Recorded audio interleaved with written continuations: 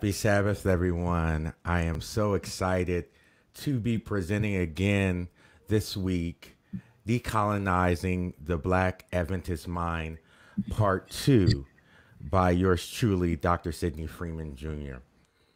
I am so excited to share this platform with so many of you. Uh, it is my prayer that people leave enlightened, inspired, and that their hearts and spirits are set free as a result of this broadcast. I would now like to introduce our distinguished panelists. So, our first panelist is Pastor Mich- uh, Michelle Mota. Pastor Michelle Mota is a Bronx, New York born pastor and, and of Dominican heritage born into a pastoral family of Curcio and Leoda uh, Mota. She's going to correct me with with the way I'm pronouncing this uh, these names. Uh, she has held many job titles inside and outside of the church, including fitness coach, auditor, and even legal secretary. But none she is more prouder than being the first commissioned female pastor in the Southwest Region Conference. She has served as pastor for a three church district in Houston and is currently serving as the assistant pastor of the Fondren Seventh day Adventist Church in Missouri City, Texas. Welcome, Pastor Mota. Next, we have Pastor Lawrence Souffrant. Pastor Souffrant is the founder, pastor of the Friday Experience, a non denominational fellowship that focuses on free thinking that promotes higher living. He is married to the beautiful Abina Souffrant. They have five children together. Next, we have Miss Claudia M. Allen. Uh, we're glad to see you, Pastor Souffrant. Uh, next, we have Miss Claudia uh, uh Marion Allen. Miss uh, Miss Claudia is the online content manager at Message Magazine. Most recently, she completed the certificate program in theology and racialized policing with Sojourners and the Howard University Divinity School. She is a public speaker and writer on race, anti racism, and biblical social justice, who is a contributor, contributing author, excuse me, to the recent publication Preaching Black Lives Matter by Reverend Dr. Gayle Fisher Stewart. She is excited about her forthcoming book, Activate Finding the Savior in Social Justice, a book that is birthed out of her passion to activate the activists in all of us. Next, we have Pastor Jeremiah Sepolen. Pastor Sepolen resides in Atlanta, Georgia. He received a BA in theology from Oakwood University and a MDiv in global studies from Liberty University and is preparing to defend his dissertation. Congratulations, man. Uh, for the Doctor of Intercultural Studies from uh, Fuller Graduate School. His doctoral research is on the relationship between indigenous North American spirituality and social activism. In 2010, he married the former uh, Fabiola uh, Camara. Their union is uh, uh, their union has been blessed with two wonderful children, Jaden, age seven, and Annalise, who is six. And last but certainly not least, we have Dr. Tyron Douglas, aka Dr. Ty. Uh, Dr. Ty is an author, international speaker, consultant, professor, and pastor. He is a tenured associate professor of the Educational Leadership and Policy Analysis uh, at, uh, program at the University of Missouri. He is also a CEO of O'Shea Group LLC and pastor of a community outreach and civic engagement uh, at the Salt City Church. The author of he is the author of numerous scholarly articles and five books. And uh, before before the uh, the program is over, we'll mention a couple of his uh, couple of his books that will be uh, will be good resources for those who are are listening. Uh, I want to thank each of you for agreeing uh, to share your insights with us today. Uh, additionally, I would like to thank Kirk Nugent and uh, Composition for facilitating the audio visual uh, needs for this program. And I, I have to always give my wife a shout out for her support uh, in this venture. So before we move further, I would uh, ask that our viewers share this presentation with your friends, family, and loved ones on face uh, on your Facebook page, uh, or forward them the YouTube link, or feel free to share directly from my website, which you'll see uh, see on on the screen, which is Dr. Sydney Freeman Jr.com. But before we go any further, we want to start out with prayer. So I would ask uh, Pastor Michelle to uh, to lead us in prayer. Sure, absolutely. Let's pray together. Father, we just want to thank you for the opportunity that we have to have these conversations, for the spaces and the places that you have opened at this time, for us to be able to dialogue and really just get to the bottom of what it is that you have called us to do, even in a time such as now. So I pray right now for each panelist, God, that you would open their minds, that you would open their hearts and in reciprocation of that also open their mouths to speak your truth. And I pray, God, that these words that we speak today would not fall on deafening ears or ears that are not inclined to hear God, but people that are willing and able and desiring to know what it is that they need to do to move forward as a people. Bless us and keep us, Father, today. And bless Sydney as he leads us in this discussion. In your name we do pray. Amen. Amen. Thank you so much, Pastor. Uh, and just be, just some housekeeping before before we will begin. I have several questions that we will um, will help us to get started. Uh, but then I will uh, will be consistently looking kind of at the chat, uh, the chat and uh, comment functions between both uh, Facebook and YouTube, and we'll try to address as many questions uh, as we can. after we get to the halfway mark, we'll take uh, well, when we get to the, kind of the halfway mark, uh, we'll take a, a commercial break, uh, after which we will then take even more questions from uh, uh, from the audience. Uh, feel please again feel free to enter your questions in the chat function on YouTube and in the comments on Facebook. So before we we go into our main questions for today, uh, I want to be sure that that we are on the same on the same page with re- with regards to the term black. So I did this at the last one, uh, but we may have some new audience members, and we want to make sure that we're we're all on the same page as it relates to that. So in the context of this this discussion, it means uh, anyone from the diaspora. So that may, you could be Afro Latinx, you could be uh, Afro Caribbean, you could be African American, you can be uh, Afro Asian, uh, but we are all inclusive as it relates uh, as it relates to um, uh, black in that in that respect. Uh, there's also um, a different a, a, definition around colonization that I know that uh, some of our panelists will address, but there has been robust conversation about uh, what the term sovereignty uh, means. And so, uh, in the context of this discussion, uh, sovereignty, its sovereignty will will mean will mean that that it will be led and operated, and essentially it would have ownership by uh, the group of individuals uh, that we're talking about. And in this context, we're talking about Black people.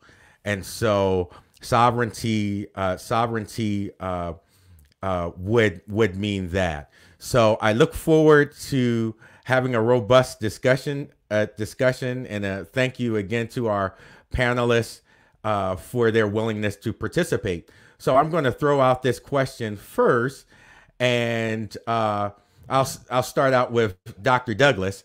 What does decolonizing the Black Adventist mind mean, and is it important? Uh, so first, good afternoon to everyone, and Dr. Freeman, thank you for this convening. Uh, I'm so excited to be on. Um, this is uh, a great conversation. I'm excited about uh, this this definition and reflection on what does decolonizing the Black Adventist mind mean and why is it important.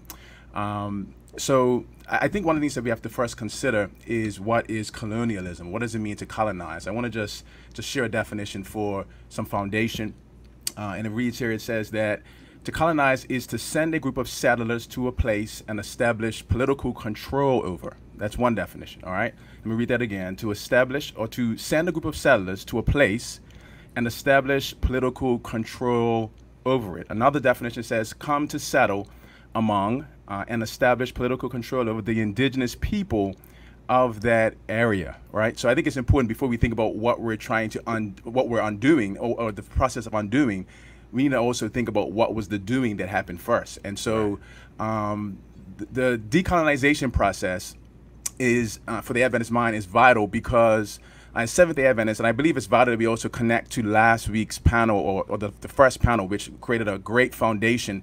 Uh, shout out to those who were on, where they highlighted the reality that the Adventist movement, the Adventist church, is a distinctly uh, American in its origin, American Eurocentric product. And so, as it was exported to various parts of the globe, and in particular for this conversation, the diaspora, we have to understand that it came with Eurocentric undergirdings, trappings, commitments, and let's be even more specific, grounded in white supremacy, which is uh, the DNA of the United States. And so uh, to undo that, to mm-hmm. decolonize uh, the Adventist or the Black Adventist mind, is to begin to reflect on what uh, are uh, the, the infringements that have taken place on our psyche, our, our spirituality, our understandings of who God is and who we are in that context, and to begin to reimagine what it could mean to perhaps be free from some of those accoutrements that have been suggested that that is the only way. Uh, when in part and, and often in whole it has been the way of, uh, of, of whiteness of white supremacy. So i believe this is vital yes to answer the question explicitly. It's vital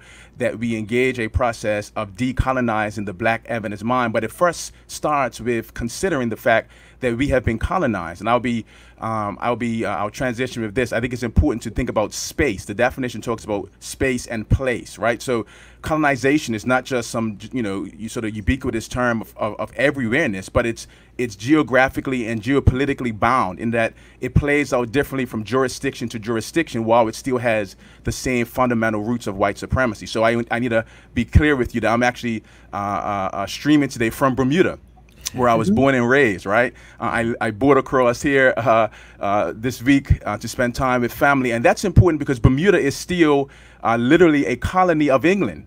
And so, uh, as a colony of England, but as a black man who, my biological father is from St. Louis, I live in the United States. Um, you know, Bermuda has explicit Caribbean connections, explicit connections to Africa. It's a very unique geopolitical space to think about colonization um, but also decolonization. So I would continue to bring that lens into our conversation, but I believe it's valid that we also ground ourselves in key definitions. Yes, uh, thank you, thank you so much, uh, Miss Allen. Could you could you add on? Yeah, absolutely. Um, I definitely appreciate the definition that uh, Dr. Ty has given us. I think one thing that we also want to consider is that the misappropriation of religion was central to colonialization across the, gro- the globe, even though colonialism looked different within different parts of the world, right? So colonialism in India and in the Caribbean looks much different from colonialism in South America as well as here in the States. And so when we think about while there were differences to those colonialist approaches, one of the central tenets to that work was that of misappropriating scripture, sacred texts, really imposing Christian dogma and theology onto the indigenous uh, individuals and or then enslaved individuals if we think about the North American context. And so, with that in mind, when we're talking about decolonizing the Black mind or the Black Adventist mind, we are in essence saying that there needs to be a process, an intellectual, mental, emotional, psychological process through which Black minds go through, where they then relinquish some of the misappropriated theological understandings that has come to them by way of white supremacy by way of um, the political, economic initiative that was colonization. Um, and so my understanding is that we're trying to encourage people to now come to a new understanding of who God is and a new understanding of who they are in relationship to God. Mm-hmm. Um, and that more than likely is a different de- definition than what we traditionally received, whether your uh, religion be Adventist, Baptist, Methodist, Lutheran, or Catholic. So I want to build on uh, what you said. Uh, and I, I want to go to Pastor uh, Souffrant because, well, two things. One, I, I, I see I see some smoke coming up, so I, I, we don't want to confuse confuse our, our people. So I want you to uh, address that. Uh, but also, um, there was kind of this this notion of uh, with with what Claudia said that she mentioned decolonizing the black Adventist mind, and then she also said decolonizing the black mind. Could you kind of talk about that? I know you talked a little bit about that this week, but could could you uh, bring us up to date on that? Absolutely. Well, first, uh, dealing with this smoke that's in the air. Uh, anytime I engage in spiritual practices or discussions, I light an incense of frankincense and myrrh uh, because those are the gifts given to the one that we call Jesus. And so um, it's an honor to be here on this panel to talk about decolonizing the uh, the Black Adventist mind. And of course, in order to decolonize the Black Adventist mind, we first need to recognize that we are Black. and uh, without that acceptance, without that understanding, um, there, there, we really can't move forward. Um, and I think um, as we even discuss it further, part of the issue in um, in accepting our blackness is of course first defining what it means to be black. What it means to be black uh, for us uh, what it means to be black in society um, and what it means to be black to be Christian, what it means to be black as an Adventist. And so these are questions that are generally the answers to these things are generally assumed. And I believe the first step to decolonization would be an acceptance of our identity as black. We cannot say that we're going to decolonize the black mind or the black Adventist mind without first understanding what it means to be black. And I would even take it a step further in saying it's important that we define black for ourselves. Wow. Uh, because society has done a good job in making black one thing, but we as uh, African people in Oregon have done a better job in creating blackness for ourselves. Um, and so learning how to embrace the excellence that is authentically black and claiming it as our own is a vital step. And let me just say this last thing when dealing with identity, um, as it relates to colonization, the European has done a good job in having us focus on um, conceptual intellectual ideas versus spiritual realities. And so I would argue that as black people, we have to learn how to tap back into the essence of what is spirit and then derive our definitions from that space versus merely just using the intellectual or educational uh, uh, framework. So, Pastor Michelle, you you tapped uh, into this this notion of of us us realizing that we're black. I, I want to build off of what Pastor Souffrant said. You you talked about that from the Afro Latinx uh, perspective. Could you kind of kind of share your perspective on that? I, I, I can't hear you. She's muted. Uh huh. I had pressed on mute but you know, go. the devil is alive. Anyway, um, so I had had this conversation last night, as you guys would remember, um, that it is very important as we are working on deconstructing what Black is, and also what we have been taught that Black is, which is, I think, even uh, a bigger issue, uh, especially for the Latino community. I know that I could speak for us, and I could say that um, a lot of us were taught that to be Black, especially for a Dominican, it would mean that I was Haitian, which is what uh, Pastor Souffrant is. And so the mm-hmm. idea of blackness then is automatically canceled out because the people who were once our oppressors that were also helped in our liberation, but then became mm-hmm. our oppressors and occupied our country for over 20 years. And our Independence Day is not from Spain, but from them why on earth would we want to be called wow. the same thing that they are? So the issue is that people look at Dominicans and they say, you know, a Dominican will be black as night and say, I'm not black. But people don't understand the origin of where that belief system came from. Because as I said earlier, Franklin Roosevelt Roosevelt, excuse me, um, who was a heavily big contributor to Trujillo, one of the worst dictators that we had in the history of Dominican Republic who single handedly gave a command and wiped out over 20,000 Haitians over the Dajabon River, which is known as the Massacre River today. And the reason why this happened is because his goal was to lighten up the race because he did not want any type of affiliation with Blackness in us at all. Mm -hmm.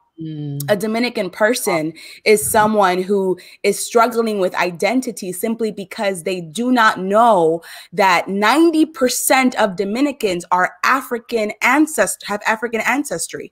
But because we were taught what African was, versus mm-hmm. what it actually is, we had a very difficult time accepting that we too are part of the Black diaspora. Wow. wow. Powerful.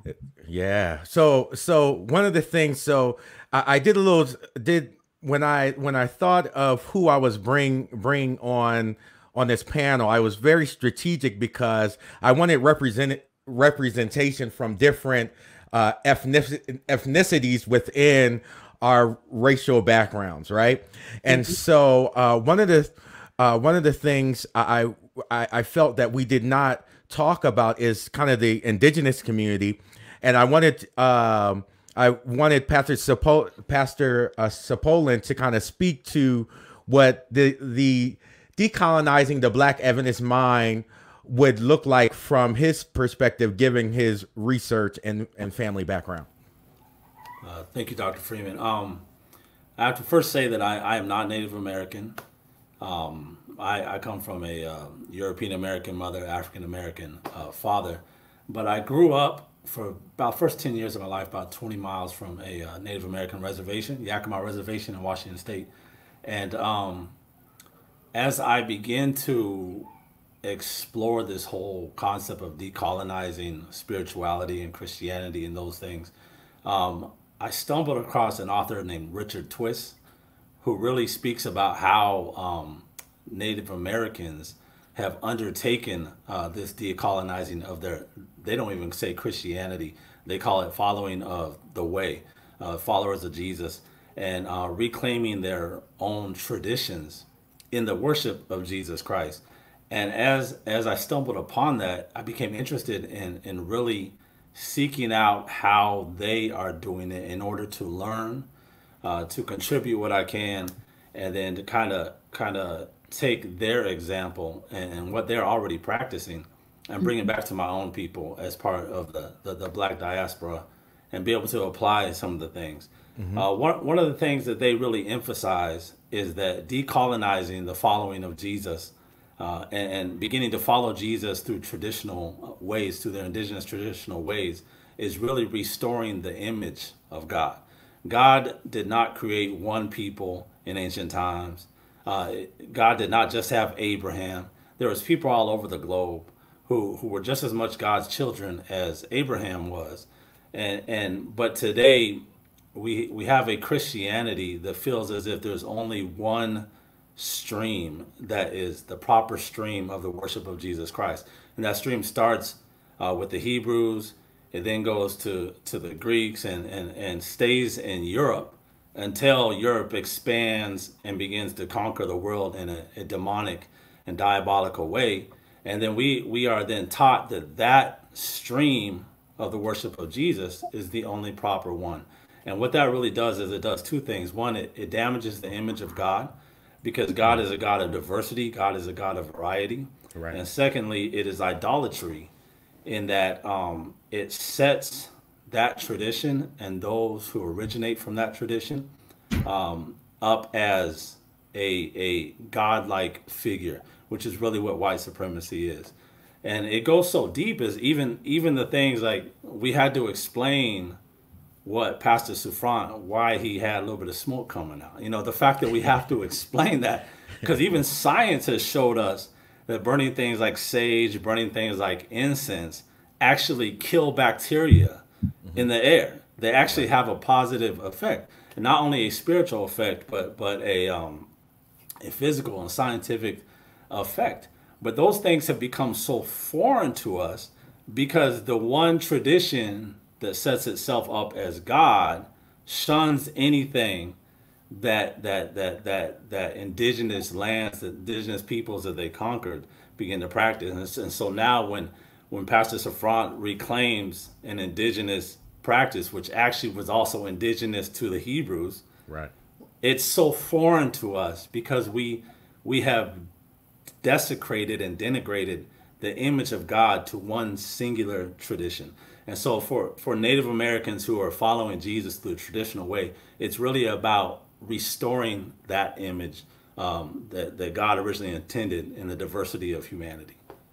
Right. Thank, thank you so much for, for explaining that. Um, so one of the things that I've been been really thinking about is what does decolon it, it seems that we all agree that a a decolonization process needs to happen, but I'm wondering if it looks different based on ethnicity, right? So if I am from the Caribbean, would it look different than if I was in the United States?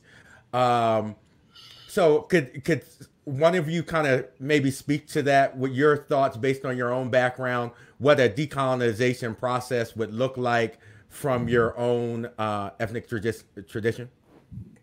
Um, absolutely. Let me just say that, and I can say this very quickly. If you ask a Dominican who our motherland is, they're going to say Spain, not Africa. Hmm. So the first thing to do is to even recognize where we are from, because when we come to the reality that there is some truths that we have been too afraid to talk about or even accept as truth. We don't hmm. even like talking about our actual history. I didn't know wow. my country's history until I went to the country and I went through the the books that were written and I saw things that I was like, "Wait, what?" Like people who I thought were white were actually black People who I thought were light skinned were actually dark skinned. I spoke about it last night that even our dictator would put on makeup to look lighter, a man in the 60s. Wow. So it's it's this this it, it is going to look differently based mm-hmm. on ethnicity. It's absolutely going to look different because for us our our first step um, mm-hmm. is to even acknowledge that our roots are based in West Africa, which is where the first set of slaves came, by the way. They came to our island in the 1450s. Our island was the first one to, to receive slaves in the Caribbean. And so they killed off our indigenous people very early on. Wow. They they killed them through diseases, they killed them through annihilation. So 90% it's safe to say of my country is African in origin, but mm. they won't even say that. So well, I think the first step is to recognize that our motherland is not Spain. And there is a need to stop thinking that because our native tongue is Spanish, that that also means that our native country would then have to be Spain, because that's not true. Wow. Well, that, go ahead. Well, I, I just wanted to just get her really quick on, and how does that impact the church? So, uh, I, I, think yesterday when we were talking, you were you were saying it kind of from a a cultural perspective, but what does that mean for let's say our uh, uh, uh Dominican uh, Seventh Day Adventists, right? What is that? How does that pro? It, are you imp- are they impacted by that?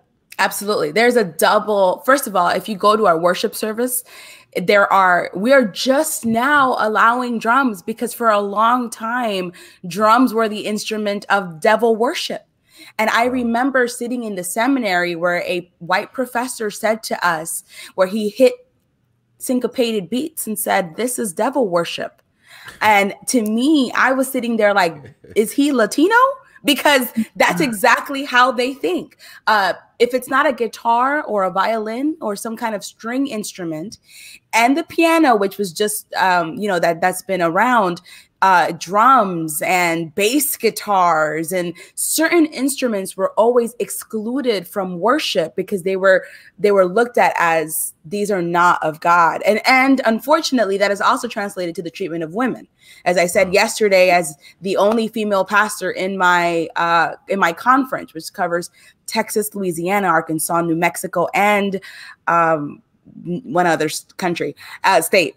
And i i know for a fact that i have never been invited to any of my hispanic brothers churches because i am a woman in ministry. So i have a double negative. So i'm a black woman and then i'm a woman. So it's it's it's going to be very difficult honestly to progress the mind forward of hispanics because it's not just colorism it's also gender exclusivism Absolutely.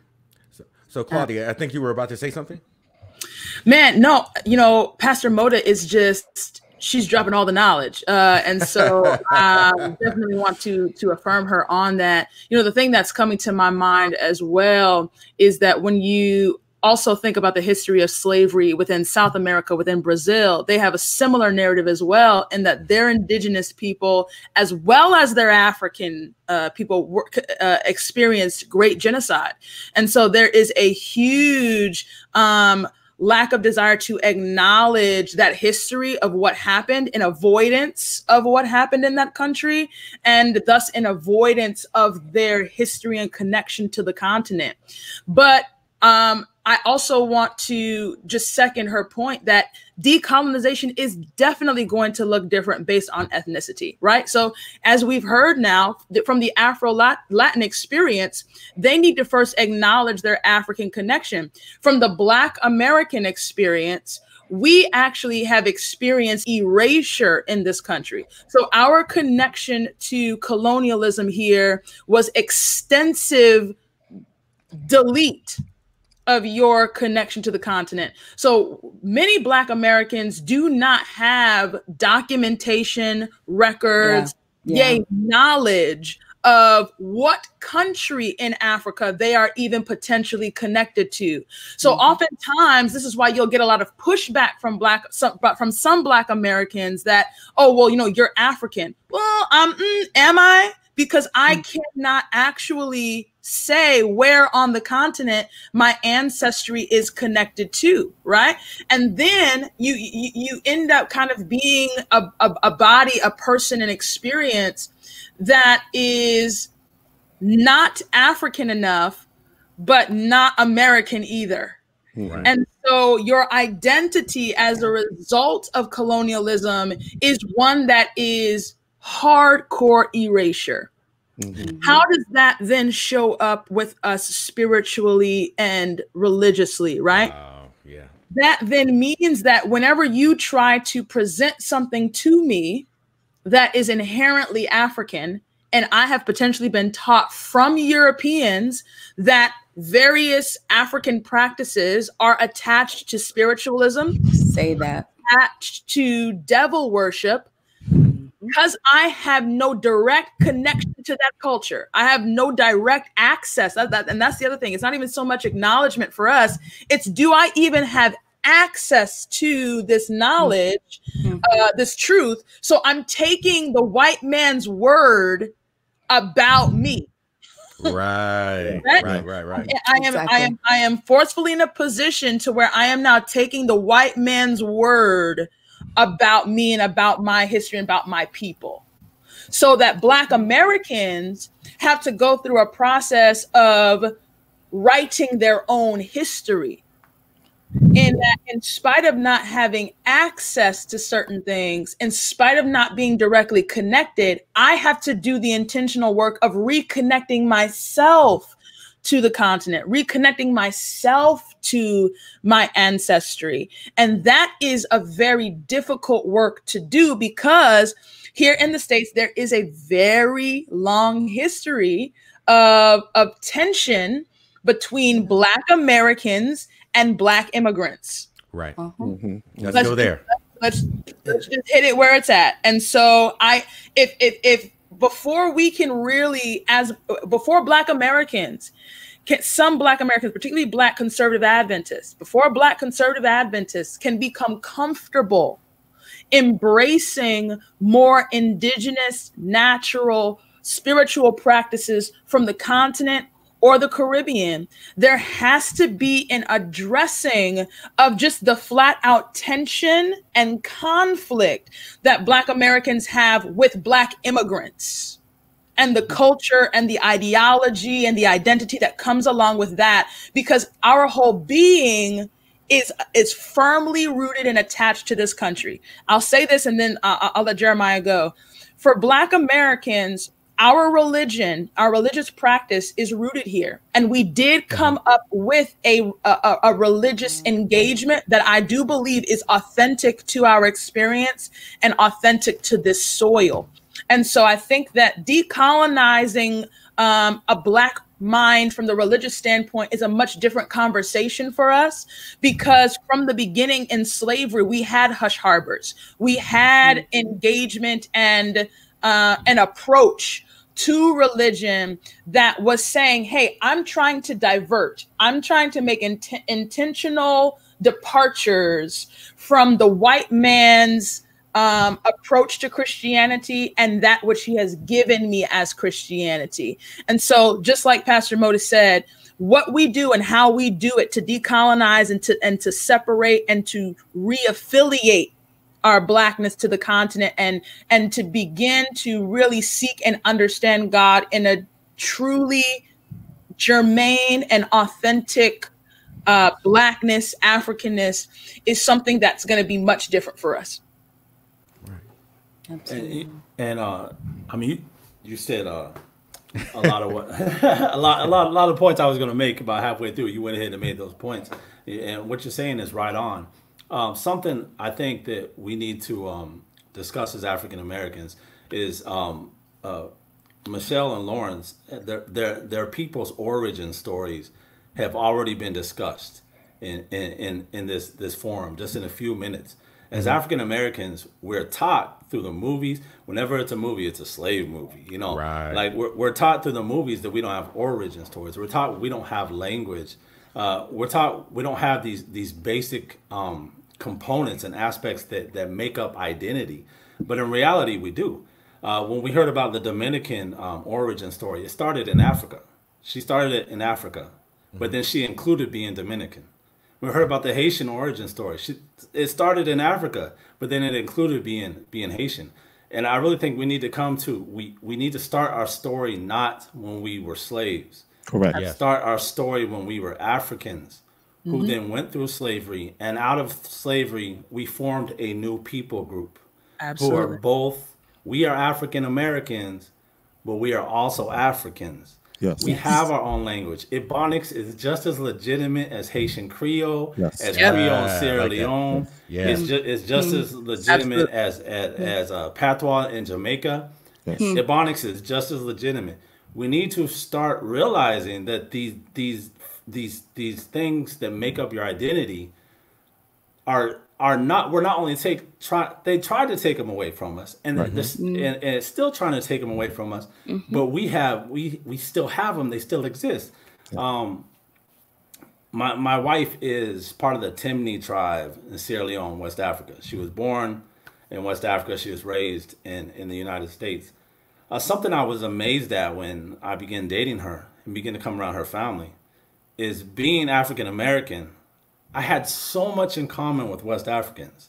Like mm-hmm. honestly, like my mother is white, but when I get in West African groups, whether it be people from Ghana, Liberia, Sierra Leone, I feel more at home. I'm mm-hmm. able to maneuver easier than I do in white circles, even though I have a white mother. And yeah. it's because culture being culturally African American, we still have so much that is yep. still there despite slavery, despite Jim Crow, despite mm-hmm. uh, uh, systemic oppression and, and all of this. We still have so much that is still there, but we're told every day that we don't. But mm-hmm. we have all of that. And I think we need to, in order to come to a point of decolonizing our, our spirituality, we have to, like, like uh, Pastor Lawrence said, we have to realize, look, we're black, but we're not only black and we're not only African American, we're African. African. Yes. Right. you know? Absolutely. And Doc, real quick before we uh, move forward, I just want to also make this distinction because you guys are really going in right now, right? um, when when dealing with history, we also need to be reminded that we not only assimilated with the dominant culture, but we also assimilated with the indigenous people. And so some of us who came from Africa fled slavery and grouped with Native Americans. Some of the West Africans who came to Haiti fled slavery and grouped with the indigenous people of the island at the time. Mm-hmm. And um, and the same thing happened in, in, in South America. And so this idea um, that and the reason, well, before I say what I was about to say, the reason why we were able to assimilate with the native uh, or the indigenous people was because their ideologies and practices were very similar to our ideology and practices before colonialism. And so, with Haitians, for example, one of our running jokes is that Dominicans are just light skinned Haitians. Oh, we, we we say that because, um, as far as all the Haitians I know, we've never looked at Dominicans as separate people. And and while and while Pastor Mota gave the history of how, um, and which I didn't know that it was common for them to uh, view their motherland as Spain. I never I never knew that, but it does bring context as to why there was so much tension because Haitians always saw Dominican Dominicans as one people with just they were lighter skinned and therefore had a certain level of favor in the dominant culture, et cetera, et cetera. It never even crossed my mind that Dominicans actually viewed themselves as separate people from Haitians. And so I think if we're going to decolonize our our minds, we have to go back to that point of origin where we are in fact one people having multiple experiences based on our location and and just what happened to our ancestors. It makes sense. I mean, without going too much into, I'll go a little bit into how Haitians even view their revolutionary process. The way that we view Dominicans were those who sided with Spain. That was our ideology. They were our people who sided with Spain. That's how we understood it. But now sitting here hearing the other side of it, it's like, oh wow, you know, I had no idea um, that you guys saw us as the oppressors when we saw ourselves fighting the oppressors, which was Spain. Spain was the and the French, I might also add, they were the ones trying to make us slaves. We were the ones trying to make us free again because we were already free before we got there. And so we th- there needs to be kind of a, a re-education, I would argue, that us fighting for decolonization is not just about taking in practices. It's about recognizing that these practices have deep connections to our being. Right. And so I'm not just lighting incense because Africans did it when I light an incense, I'm reminded of not just what my ancestors did, but I'm I am going to a place where they were able to experience God in a very authentic way. I'm not just doing it because it's the African thing to do. And when I had my own experience with God through lighting incense, I continued to light incense. And being free is having the ability to explore these avenues without condemnations uh, from those who just view the white supremacist viewpoint as the only way of doing things. So, I just want to um, just add just really quickly um, to what Pastor Lawrence has said, Pastor Front has said. Um, I think that even the joke, even what you said though, right? Like even the joke um, and even the term shows that that Haitians are sitting within that seat point of view position of power, and so they are then imposing or projecting onto Dominicans uh, from that standpoint, right? So it's like you're seeing that Dominicans are, are a part of Haitians and, and they just turn their back. No, like that's because though that you had at one point ownership of them and so your point of Actually, view no.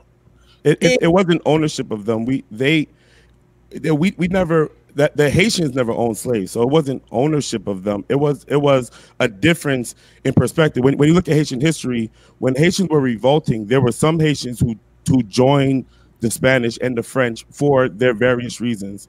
There were right. some who decided to continue to rebel, and then there were some who just fled and defended their own personal territory when you're dealing with with Dominican Republic, the uh, the the the mulatto Haitians were receiving favor from Spain and France, even to this day, where after our revolution, they traded with the mulatto Haitians, but not with the darker black Haitians.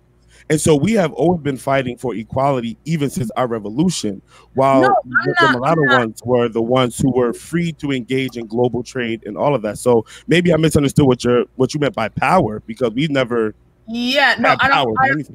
Yeah, no, I'm not saying that. I definitely understand kind of like the Haitian history of revolt and whatnot, but I'm speaking more so to the historical context that Pastor Mota has just shared with us in terms of the country's engagement with the Dominican and their power system and structure with the Dominican Republic, basically the other side of Hispaniola, the island. So not so much, um, you know, your initial independence history, but more probably your more contemporary engagement with the Dominican Republic and how problematic that has been for them. Thus, their desire to not want to be affiliated and connected with you culturally and nationally. Yeah, I see the problem we have with the Dominican Republic very similar to the problem that we have with white Americans in that the ones with the favor don't like us trying to gain equality. And so Dominic the, the Dominican Republic had better access than we did. We gained our independence first, as Pastor Mota uh, had pointed out, but we couldn't even occupy the entire island because of these mulattoes who were once our people. See, when I say we were once people, once one people, we weren't one people under the name Haiti. You know that that that's not what I'm saying. Um, but when we became Haitians, we tried to occupy the entire island. We was met with the resistance by those who now call themselves Dominican. That that was a, a, a name that was put on these people much later. You see what I mean? And so we were. It was like a civil war, is what it actually was. But in ideology, or at least in uh, in ideology and also in storytelling, the Haitians saw it as more of a civil war narrative. While I'm learning today that Dominicans actually saw it as these people are oppressing us. You see, uh, that I mean, in other words, Yeah. we were not in agreement with who the enemy was. We, Haitians, who we call Haitians, were in agreement that Spain and France, they're the enemies. The Dominicans apparently were in agreement that we were the enemies. and so without and I, I see that even in America today. All black people don't see white supremacy as the enemy. In fact, there are plenty of black people who see the white way of doing things as a better way, a more sophisticated and honorable way.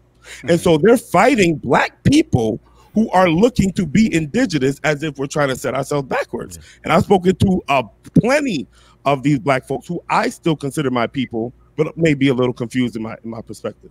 Yeah. So I want to give wanna- Michelle the, the chance to to respond and give some context to this, but I guess I would I would still push back just a little bit um, because there is a part of me, and I guess my point that I'll just say briefly is I think that we all, um, as persons of color, white persons, what have you, uh, need to be willing to recognize our blind spots and Yeah. see that there are spaces and positions um, for even an oppressed people to be an oppressor. Yeah, uh, in conversation with um, uh, one of my really good friends, Pastor Manny Arteaga, He's a Mexican American. He said this so profoundly. He said, you know, in talking about the Mexican American experience, that one of the things that they struggle with the most whenever it comes to dealing with or speaking out about any kind of oppression, whether it's here in the States or in Mexico, is that they are fundamentally dealing with the fact that they are both oppressor and oppressed pe- person. Yeah. Mhm. And so I think that, like, even we as Black people have to get to a place where we can become comfortable acknowledging that there are times when, yes, you are the oppressed body, and there are times when you are oppressing. I, as a Black woman, have experienced a lot of oppression from Black men, right? Say that. even if I personally don't have narratives, right? There's a historical narrative that suggests that black men, when they could not inflict the kind of power over white men, began to treat black women the way white men were treating them. So, all, so all I'm saying is, is that whether it be a narrative between um, Haiti and the Dominican Republic, whether it be white people and blacks here in America, uh, whatever it is, we all as humans i fundamentally believe have oppressive blind spots and we must be willing to say that we write our narratives with us as the hero every single time. And mm-hmm. there is more than likely a chance that there is another people group, a, another body that feels like, you know what, you weren't the oppressed person in this situation. I was. Well, I, I, I want to uh, jump in here to make sure that uh, Dr. Uh, Douglas gets a chance to uh, to get in here, particularly as it relates to uh, the complexity of his own origin being both American uh, or African American and uh, Bermudian, and uh, and and now I'm understanding as I as I as I'm learning about Bermuda at, at, at points they see themselves as a part of the Caribbean and and other points they don't. Could you could you just talk about uh, we're seeing that this is a messy conversation. Yeah, yeah, yeah. Right? Yeah, this is yeah. a messy conversation and it needs to happen. Absolutely, uh, absolutely. And then you add on spirituality to it. Yeah. Uh, it, it's not like it's not like because we became Adventists, all the shackles of colonialism have been taken off. So could you talk about it from Sure. that perspective? Yeah, that's good. I think the, the conversation that's been happening is great as well. I was just sitting back and, and just enjoying it as you know as an audience member for a sec. But um, you know, I think I want to get back to your question as well in the context of uh, of it looking different in different spaces, right? Um, that's the fruit, but but the root of the process I think needs to look or will look similarly. And I want to share a couple of resources. Um, so the writing of uh, Foucault uh, and uh, Spivak, uh, these are post what we call post-colonial scholars. They've written post-colonial theory, and one of the the the uh, the concepts or tenets of that is epistemic violence, right? Thinking about our ways of knowing, right? Like like you know how we've come to know who we are or what we think has been infringed upon. And so when you talk about the process, I believe that the process may look similar, or, or the, the the process of unlearning or reflecting on the epistemic violence that we've experienced may look similar, but the but the engagement, what it looks like in the in the fruit stage, may look different. So if you if you're if you're considering epistemic violence, you begin to ask different questions. You begin to ask questions like, uh, where did this come from? um, you know, where did it begin? Um, you know, so when I think about uh, a, a space like Bermuda, um, you know, who, who were the first missionaries that came over, and which brand of Adventism did they bring? Um, you know, you know, what were the tracks that were given out? And we and we often make this assumption in in Adventism that like there's this sort of everywhereness as relates to doctrines and what people believe. I was I was astounded as I've sat in seminary over the last two and a half years where there's a metaphor out there in that space where it's like it's a ballpark metaphor. Like some people in left field, some people in right field, some people in uh, people are in the stands, and that's actually accepted. Like there are differences within our denomination, yet what was shared with you as the dominant ideology is often different depending on the space that you're in, which is why I started with reflecting on epistemic violence, because white supremacy, I believe it inhibits our creativity to even imagine beyond what we've been given. And so I believe it's critical that we begin to think about where did it start and consider then the contextual realities of the specific geopolitical spaces that we're in. Um, Bryan Stevenson said something quite interesting recently. I heard him share, and he was talking about how while the Uh, who is North, he? Bryan is- Stevenson he? is the uh, uh, uh, yeah, a, a lawyer. Um, he's over the Equal Justice Institute. Um, uh, written a book, Just Mercy, and a movie, Just, Just Mercy. Thank you for, uh, for, for, for allowing me to, sh- to share that additional context about him. Uh, he was actually interviewed by Dr. Bird recently, and he shared something powerful that I think is contextual here. He mentions that he mentioned that while you know the North won the war, that the South won the narrative war. I, I, I want to let that Yeah. sink in, right? Like so, yeah. While the It's North true. won the, the, the war of you know uh, of, of physical supposed liberation, if you will, the narrative war of the South is what has what is what has prevailed. And I would like to suggest that the South in this in, in the United States is anywhere south of Canada. Like we like to try to make these demarcations. Like this is a the the United States is a plantation. It was a colony as well, and so I I think that we need to rethink about even when we talk about colonization, it's not just about Bermuda or uh, an island. Though I think Bermuda, for me, and my identity as a black man who was conceived in Huntsville, Alabama, born in Bermuda, and now back in my father's state in in Missouri. Uh, I feel like I have a unique sort of purview because when you begin to see oppression in multiple spaces, you begin to ask different questions, right? Mm-hmm. And like it's like, man, okay, uh, like I saw that there, but it's just a little bit of a tweak, but it's sort of the same thing, but just a little different, right? And many of us, we've only been in one space. So the beauty of even this moment and these conversations is that we're beginning to triangulate the diversity of what oppression looks like, though it has the same root. That same root is white supremacy, which suggests that if you are not white, if you are not of a Eurocentric origin, and whatever that looks like, whether it be worship styles, as we've mentioned here, theologies, uh, uh, uh, very value systems, then we have been told that we are inferior. That's the colonial right. mindset, and we've embraced that. And so, to challenge that across the various ethnic spaces and, and geopolitical spaces, we have to ask different questions.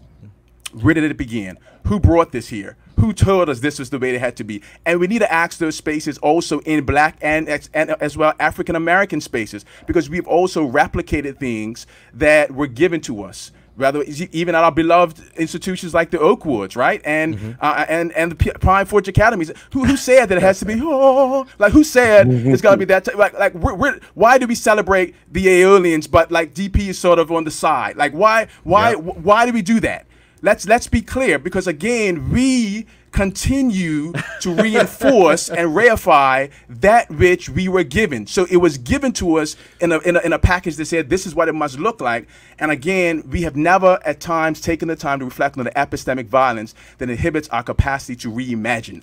That's what this moment is about and that's why the root is asking different questions truth telling shifts of narratives and really looking at the origins of where stuff began. I'm, I, am i am sure I'm out of time, Dr. Freeman, but I, at some point I want to also share what that looks like in Bermuda um, as relates to how the Adventist Church began here and and, and what that looks like as relates to now what we have. Uh, keep, keep rolling while you're while you're rolling. Just keep rolling. Just so, keep so, rolling. So, so just real quick, right? Um, I, I, think one of the beauties of of our space and in, in Bermuda in particular is um, that uh, the Adventist Church uh, it, it's like the, I believe, like the, as relates to uh, uh, uh, uh, representations, like the fourth largest, fifth largest denomination here, um, and we have a strong history, right, of uh, of uplift. Um, when you when you embrace Adventism, you don't just embrace you know the religious piece but there are cultural elements as relates to education right so many people they didn't just get the religious piece but they moved up like two or three social classes across generations as a result of the entire package right? The wow. rule following and the yeah, other yeah, pieces yeah. of colonialism. Somebody said to me recently, my dear colleague, I want to mention Dwayne Keynes, Dwayne A. Keynes, uh, brilliant scholar, and there are many brilliant Bermudians, so I just want to just acknowledge because this space is one where we, we've we've had those opportunities, and yet we also, I think, have challenged at times the inferiority narrative with our one-to-one dollar with the U.S. Right? Like that economic piece, that that suggestion that hey, listen, I've seen black accents, but I'm not inferior to anybody, including my African American brothers and sisters. So that's why Bermudians will come at you straight, Dr. Freeman, and say, no, don't don't throw us all in that same pot. There are diverse ways that we have experienced our blackness, and that's not to say that we haven't been ha- haven't been colonized, but again it has impacted how we embrace or move into different spaces. So I'm from, a, I'm, we're in a colony, and yet when you think about even the origin of like a DP, it was started by a Bermudian. Right. Right. Uh, uh, uh, Stephen Manders, right? So it's this interesting space where you have oppression uh, and you've had sort of white supremacy, but you've also had the notion that hey, listen, you're not you're not better than me, and that's an interesting tension that I believe that we have in this space that has also played out contemporarily as relates to the fruit and what also decolonization looks like for Black Adventists here. Uh, uh, Pastor Sepolen uh, was trying to get in earlier. Uh, did you did you still want to want to say something? Uh, we can't hear you.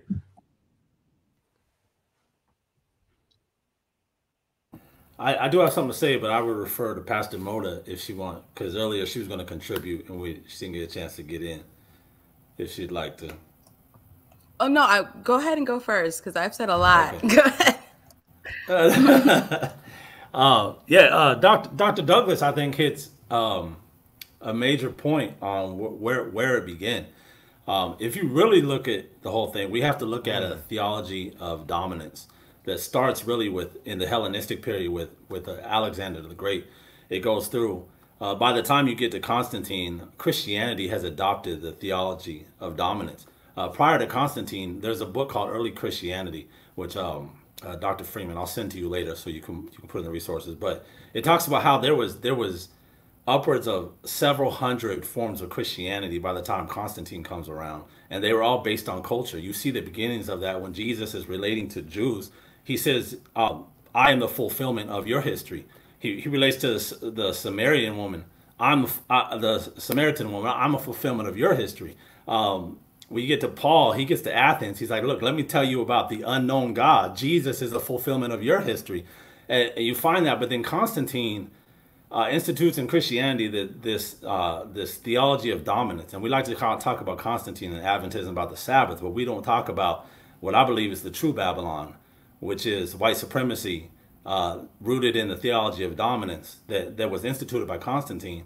And at that point, you then have the Christianity adopts this this this theology of dominance, and then you have Europe begins to spread across the world, and in every land they get to, what they met with almost exclusively is people who have a peaceful and accepting uh, spirituality and culture. Uh, there's an author called Rutgers Bregman, Rutgers Bregman, who has a book called Humankind. Humankind, as in humans are kind. Um, and he talks about how we have been, um, he doesn't say through white supremacy, but I, and through Christianity, so through European um, traditional Christianity. But I, have made that connection that we have been taught that humans are um, inherently bad. The humans are inherently bad where the Bible tells us that we are made in the image of God. And so, according to the Bible, humans are inherently in the image of God. So, humans are inherently good. But when Europeans with this theology of dominance get, get to these lands, they're able to dominate these people, commit genocide, uh, enslave people, because they're met with people who are open to accepting the stranger. That's why now you have Western nations that don't want the strangers, because mm. they realize that when they were strangers, they acted in a certain way and there's this, this an inherent thought that the stranger is going to do to us what we do to the stranger and so now you've adopted in christianity this theology of dominance and so you, now you have seventh-day adventists who believe that if you're not seventh-day adventist then you are part of babylon that you're, you're not Uh-oh. going to heaven now yeah you, you have in christianity this thought that if you do not um, believe everything that is the the the the uh, the main doctrines and dogma of Christianity, then, then you cannot go to heaven. That if you're right. Muslim, you can't go to heaven. If you're Buddhist, you can't go to heaven. If you follow traditional indigenous ways, whether it's from Africa or India or, or whatever, Central America, then then you can't go to heaven. It's this theology of dominance, and so when we hmm.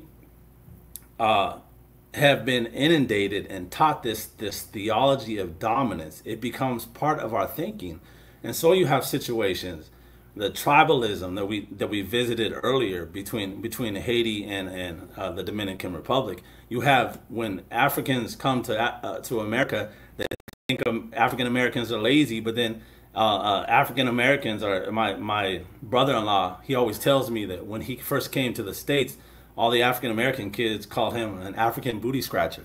You know, mm-hmm. he's like that's they call me that name every day at school. And you you have this tribalism where we then try to dominate each other because we have been taught through white supremacy this this theology of dominance. When when we when we hold revivals, what do we call them? Uh, not just revivals, we call them crusades. Right. You know, we call them crusades. Yeah. Like our entire theology is built on dominance, but that is Ooh. not only opposite yeah. to the character yeah. of God, it is opposite to who we were before we were we before we were victims of genocide and victims of slavery. That's not That's who deep. we are. Which deep. which begs the question, and I'll, and I'll and I'll end with this: is what greater reflects the character of God? These traditional cultures and spiritualities that were kind, accepting, almost like there's exceptions. You know, I, the generalization assumes the exception but when Europeans landed on these these these these lands, they were able to to dominate these people and take these people over because these people reflected the character of Christ. Even if they had not yet picked up the New Testament, they reflected the character of the Creator. And so when you come with the character of the devil, you're able to start killing these people because they were accepting. And and and so I think that we need to realize that the reason why we view each other a certain way. And we feel the need to uh, tribalism where we want to dominate uh, where we have these implicit biases or, or, or uh, oppressive attitudes, as, as uh, uh, Dr. Allen, Dr. Claudia Allen said, um, the reason why we have this this hesitancy to accept indigenous things, whether we originate in Africa or in different parts of the world, uh, if you're part of Christianity and especially sometimes Adventism, is because we have been taught this theology of dominance and it is contrary to the character of Christ. And if we are to get into the character of Christ, we will find often enriched by the, these traditional things more than what has been handed to us through European traditions. Wow, I, I had never heard of a theology of of dominance. Thank you so much for for sharing sharing that. Um, so we're getting close to the halfway mark, uh, and we uh, in, in the second half, what we'll do is um, the last the first on the first panel, um, Minister Ronnie Vanderhorst introduced this concept of sovereignty. So we're going to kind of unpack that uh, in the second half. But I want to give a doc, uh, well, Pastor uh, Michelle an opportunity if she still wanted to uh, maybe mention a few things uh, to give her the oppor- opportunity to do so. So I just I just wanted to clarify some things that I heard said. Um, you know, and I'm not trying to sound like I am attacking I just want to educate because I think sometimes we get into our feelings when we talk about these kind of topics. They're sensitive, of course, mm-hmm. but I just want to make sure that we shy away from that and we just watch history as it actually unfolded. And mm-hmm. it's important to note um, that, in fact, the French slaves did occupy the Dominican Republic for over 20 years.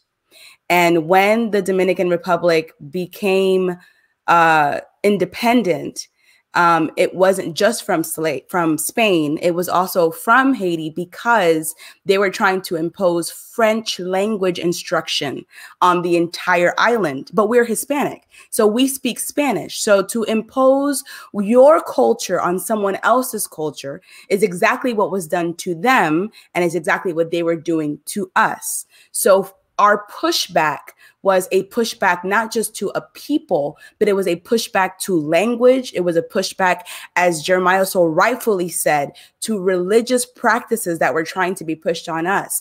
Um, Dominicans don't practice voodoo, which is one of the major religions over in Haiti, but they do practice Santeria. However, our biggest religion is actually Catholicism. It's the biggest religion that is practiced on the island. And right now, as the population goes in terms of the, the uh, Adventist church and the entire population of Dominican Republic, I'm actually happy to say that one out of 34 people in the Dominican Republic are Seventh day Adventist or they consider themselves some type of member of the Adventist church. So not um not all is lost in terms of religion. However, as well. It's you have to know that when these white settlers came as missionaries to bring their religion, because that's what it is, and that is completely. Um, I really appreciate you, Pastor Sepolen, and what you said. It it, it was their interpretation of Adventism that came to our island. And even to this day, wearing skirts that are long, wearing long stockings, women are not necessarily pastors because they're not uh, they were not seen as someone that can contribute to Adventism.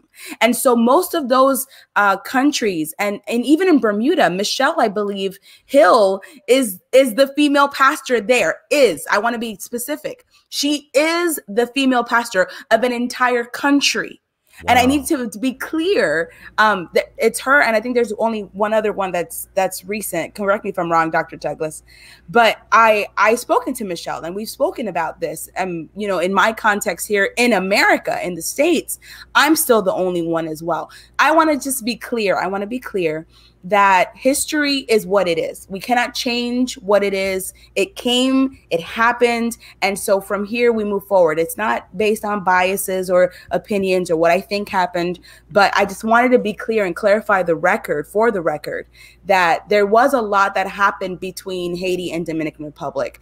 The tensions have been a little bit alleviated as of late. They've been helping a lot each other out. They've both been been devastated by hurricanes and climate things that have happened, which has forced them to work together. And we thank God for that. And and I I do because in all honesty, I think that it's not so much of you adopting someone else's culture, it's about you being able to thrive in your own. But it's also a recognition of where that culture came from and why I behave and and treat people as Pastor Sepolen rightly said, it's not about me being the dominant culture or me being the better culture or any of that. It's literally how can we move forward? These conversations mostly tend to pull us back to the past, but it doesn't really leave much resolution for the future. And I'm hoping that through your through your decolonizing the Black Adventist mind, as I said, once we can recognize that we are all colored, we are all black people who have experienced tribulations at the hands of other blacks or at the hands of other oppressors that we can move forward from here. I don't want the conversation to get stuck and we don't get a resolution to the problems that we already know exist. Dr. Wow. Freeman, if I could just jump in real quick as you, before you transition, um, just to tie those two comments together. I think Dr. Sepolen also hit on something that's critical, um, and I love what you just shared, Pastor Michelle. The the reality is that these these untruths are continuing to be taught um, now, right? So I'm, you know, in my last semester of a class uh, in seminary, and this is the book that we're reading called "The Story of Christianity," and you see where it where the same Christianity starts, right? And so for me, I, I want to give a shout out to uh, Trace White. He's a Bermudian who wrote a book many years ago. It was called "Scandal of the Universe," but in this book he was the first person who who I read, uh, whom I read, who who suggested that Christianity didn't just begin in the New Testament, but like he pushed me to think about the reality of Christianity being a, an experience that began in the Garden of Eden. Mm-hmm. And I mm-hmm. think that's a, a narrative shifting truth that's important as well, right? That um, you know, religion doesn't earn being a follower of Christ and I think we need to begin to rethink again. That's that's a an origin question or, or an origin reconsideration of the beginnings of things and how we've embraced um, wholesale. You know, a religion that has said this is what it has to look like. I will share this as we transition. I want to be very practical today. You know, as a person who was born around the church, my dad, who raised me, who loved me from, um, uh, you know, as from almost from birth and, and, and adopted me as his own, was not Adventist. Uh, and so I've always chosen to be around Adventists. My mom's family was, but my dad wasn't. And yet, I was raised in a, around an Adventist context that suggested effectively that because he wasn't Adventist, he couldn't be saved. Right. right? I mean, I mean, you think about just the, the, the, psychological realities of that. I'm actually at his house now. You can see the African prints and stuff behind me. so I was raised in this sort of context where it was okay to embrace my Africanness, but I also chose to be around like the church folk. And so it was never forced upon me to be them. Like I, I chose to be around them, but I, I also had the freedom to embrace and consider other realities, and that hasn't been the experience of many who were raised in quote unquote traditional Adventist homes. In fact, I see a lot of resentment and frustration from people with, from with legitimate discontent who have felt like they've spent 20, 30, 40 years doing stuff that they were told this is what it has to look like. And they thought it was like a thus saith the Lord edict when it was actually somebody's cultural preference. And so today, like this afternoon, I plan to take my youngest son, he's here with me. We're going to go swimming on Sabbath for the very first time. Like I didn't do that. So in Bermuda, you grew up and you drove across the water and it looked the best on Sabbath. But you couldn't supposedly go swimming. So you can go for a nature walk, but not a nature swim. Like who told us that?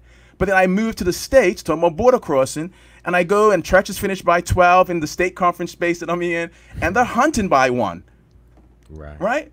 So who told us how we engage and experience Sabbath and rest and the joy of even going vertical to have uh, ask God directly, what is it that you would have me to do? And I believe as we transition this conversation around decolonizing the Black Adventist mind, it's being open to ask those questions and to ask them even for ourselves. Because frankly, unfortunately, um, the control and the colonization process also is perpetuated through seminaries where you have pastors who come out and are not even comfortable with the ambiguity and the things that they don't even fully know. That's the reality. And so we perpetuate what the system says rather than actually giving people freedom to actually study for themselves and to talk about some of these truths and the ballpark, the reality that everybody doesn't believe the same thing, even as we're part of the same uh, denominational context. Well, thank you, Dr. Ty, for for kind of summarizing that uh, for us. I I think this is this is good, and based on what I'm seeing here uh, uh from the comment section, that are they're really engaged and um, and uh, I think this is is going to even get better as we uh, go into the second half of this.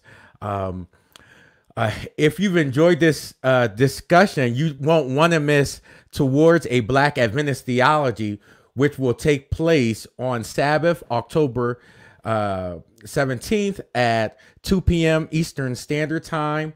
The panelists will will include Dr. Olive Hemmings, Pastor Terrence Taylor, and Pastor uh, uh, Ingram Ingram London and Pastor Danielle Pilgrim. Additionally, we will provide uh, we provided our panelists, today's panelists, with a list of resources that addresses the issue of decolonizing the mind. To get access to that list and and links to the associated resources, please go to my professional Facebook page at uh, facebook.com backslash Sydney Freeman Jr. I would also ask everyone to go to my YouTube channel Sydney Freeman Jr., and subscribe. We have 214 subscribers, and I need 500 subscribers uh, to provide even more rich content. So uh, while we're talking right now, go to uh, my YouTube page, uh, my YouTube channel, uh, Sydney Freeman Jr., and subscribe. Uh, we initially had one video uh, three weeks ago, which was this uh, the first decolonizing the Black Adventist mind panel, and it actually uh, only had that video on there uh, from from that time, uh, we have 22 fresh and original video content. And uh, so please subscribe to my YouTube channel. You'll have access to all those uh, videos. They'll, they even have uh, interviews with me uh, following up after the recent uh, the recent first panel. And then each of our each of our panelists today we uh, this week we had one-on-one interviews with them, and so you'll get to hear more from them that way. So to facilitate a program of this quality, it costs. Uh, my wife and I have made a commitment and covenant with God uh, that we would uh, support uh, facilitating such conversations uh, through this medium. Uh, the panel and other initiatives affiliated with this ministry are not not funded by a church or a uh, or a uh, a conference. Uh, so we need your support.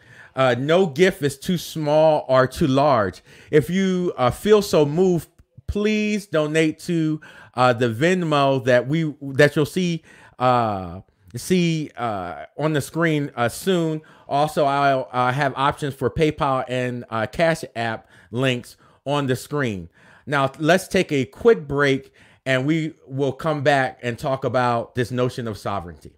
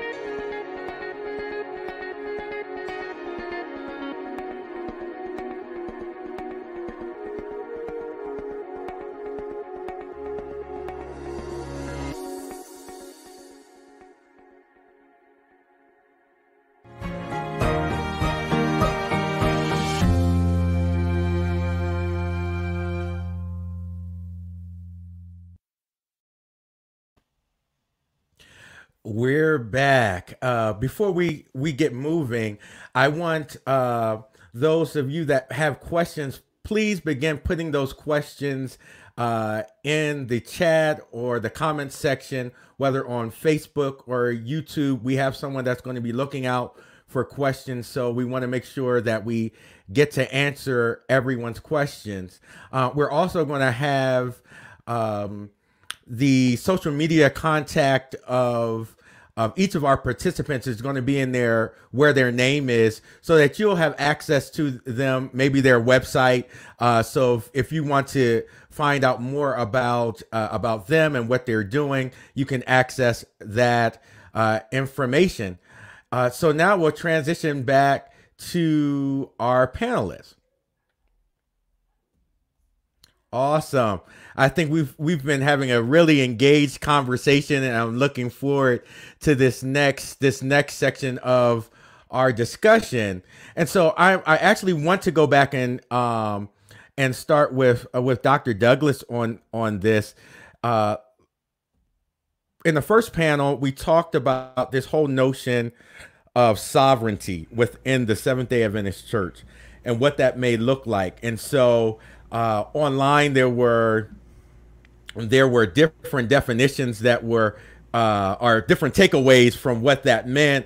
Uh, could you talk about, from your perspective, what sovereignty is, and is it something that we should be aspiring to?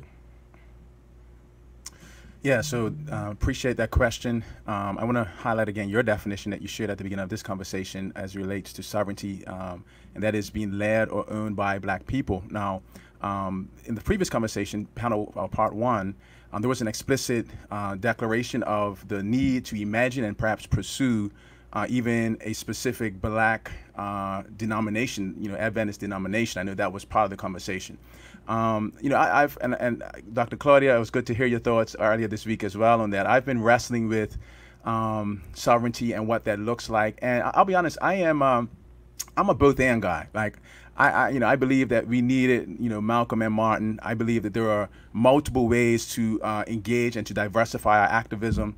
Um, and, and, you know, so I, I, I, appreciate the conversation. I think it's a necessary one. Um, what it looks like, I believe, is something that we need to really critically reflect on because a lot of times when we again have been a part of one structure, um, all we know is really to replicate what we have, and it'll just be maybe in blackface, right? And so I think that's one of my questions around to create our own. Like I don't, I don't have the energy to create or, or to lead the efforts to create our own denomination that's Adventist. For me, sovereignty looks like actually rethinking not just the macro level of what it means to be Seventh day Adventist, but especially even this corona context. Like all of us are having to reimagine what does it look like to be a minister, right? To engage in ministry. And it's so wonderful that these big monstrosities of buildings have had to close. And now we've begun to look at each of ourselves, ourselves as as ministers, as as, as the hands and feet of Jesus. So um, I would love to think about it on a macro level that uh, it may need to look like having your own business, having your own nonprofit,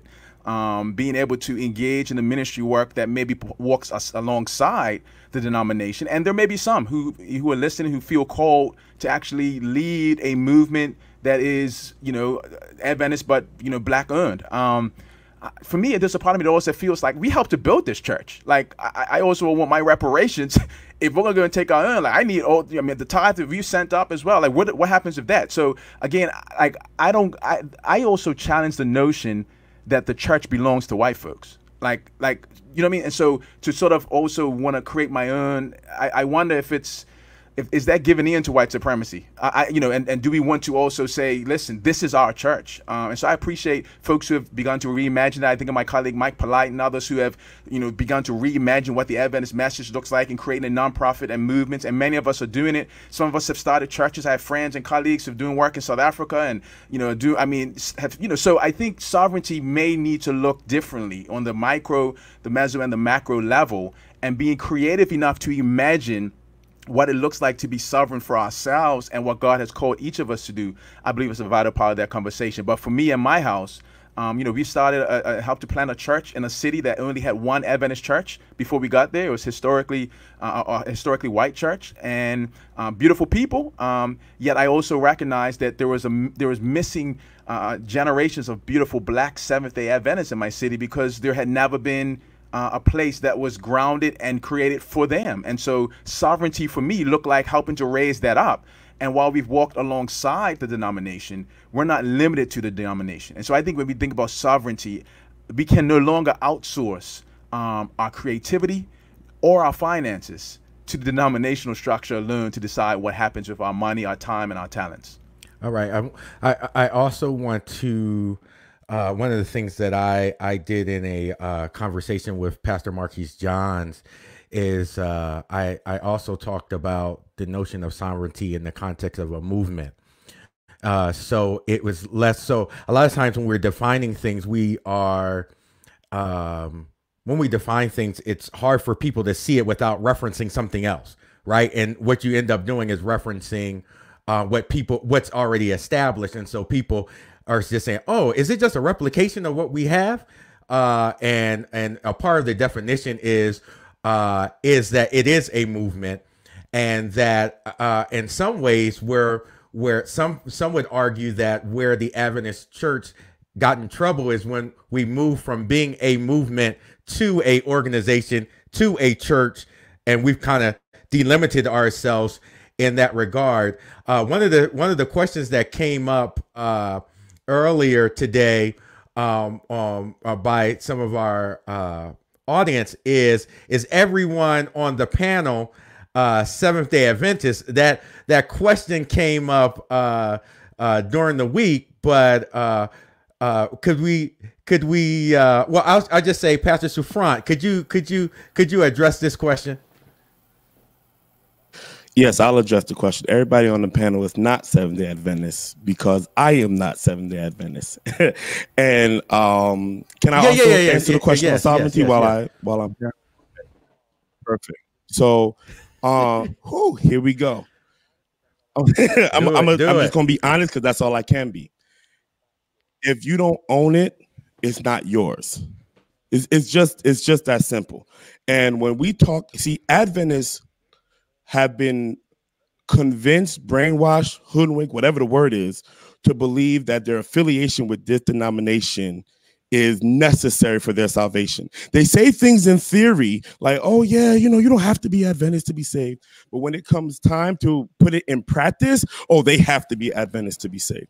And I think that's part of the problem it's part of the reason why I think sovereignty is the answer, not just for black faces. Because can I be honest, especially in Adventism? No, let me be honest. In Christianity, it has been black Ooh. faces promoting white agendas.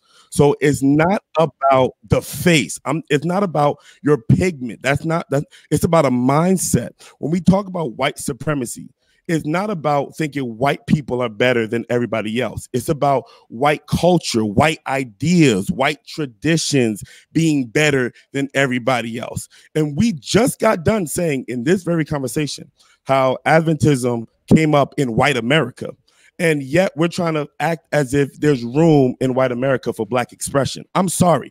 They will forever continue to shut down our expressions if they feel our expressions are demonic. And so the energy to convince white people or white minded people that we're saved takes just as much energy to just build something of your own and cater to your own people. Say, hey guys, we and, and when I say this, I want I want to be extremely clear.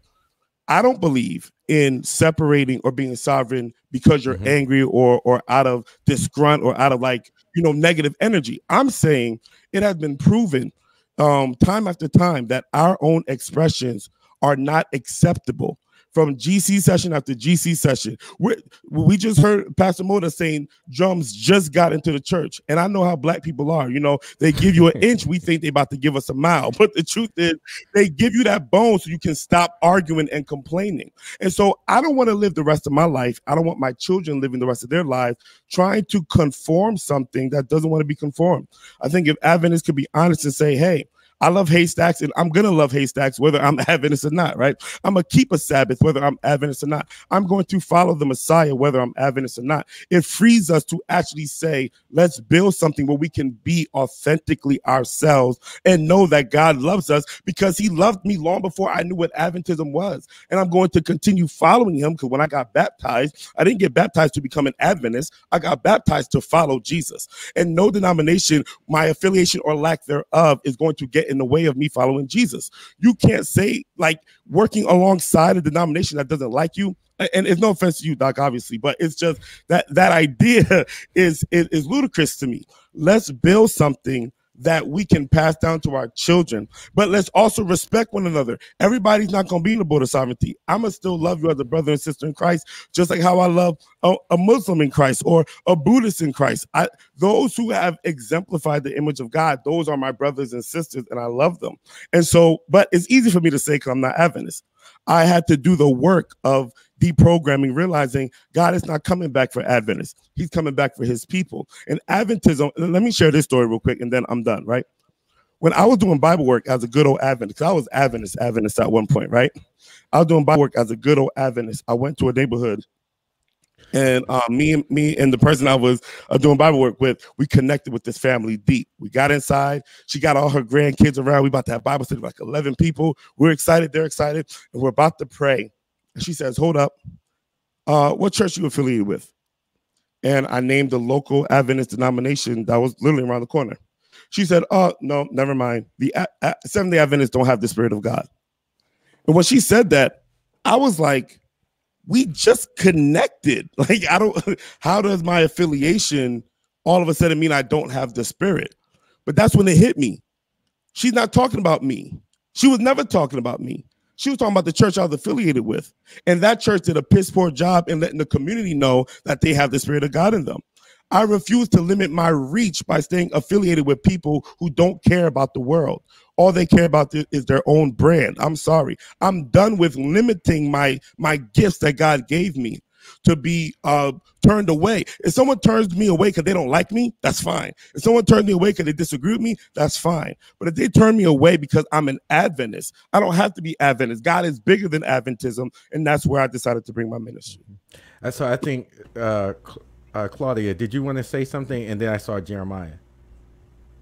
Sure, I'd I'd love to jump in here. Um, you know, I'm gonna be that person today I fundamentally disagree with that. Um, so while I do agree that the Seventh day Adventist Church, it, because it is a white American born religion, it does have um, colonialist practices and it is racist.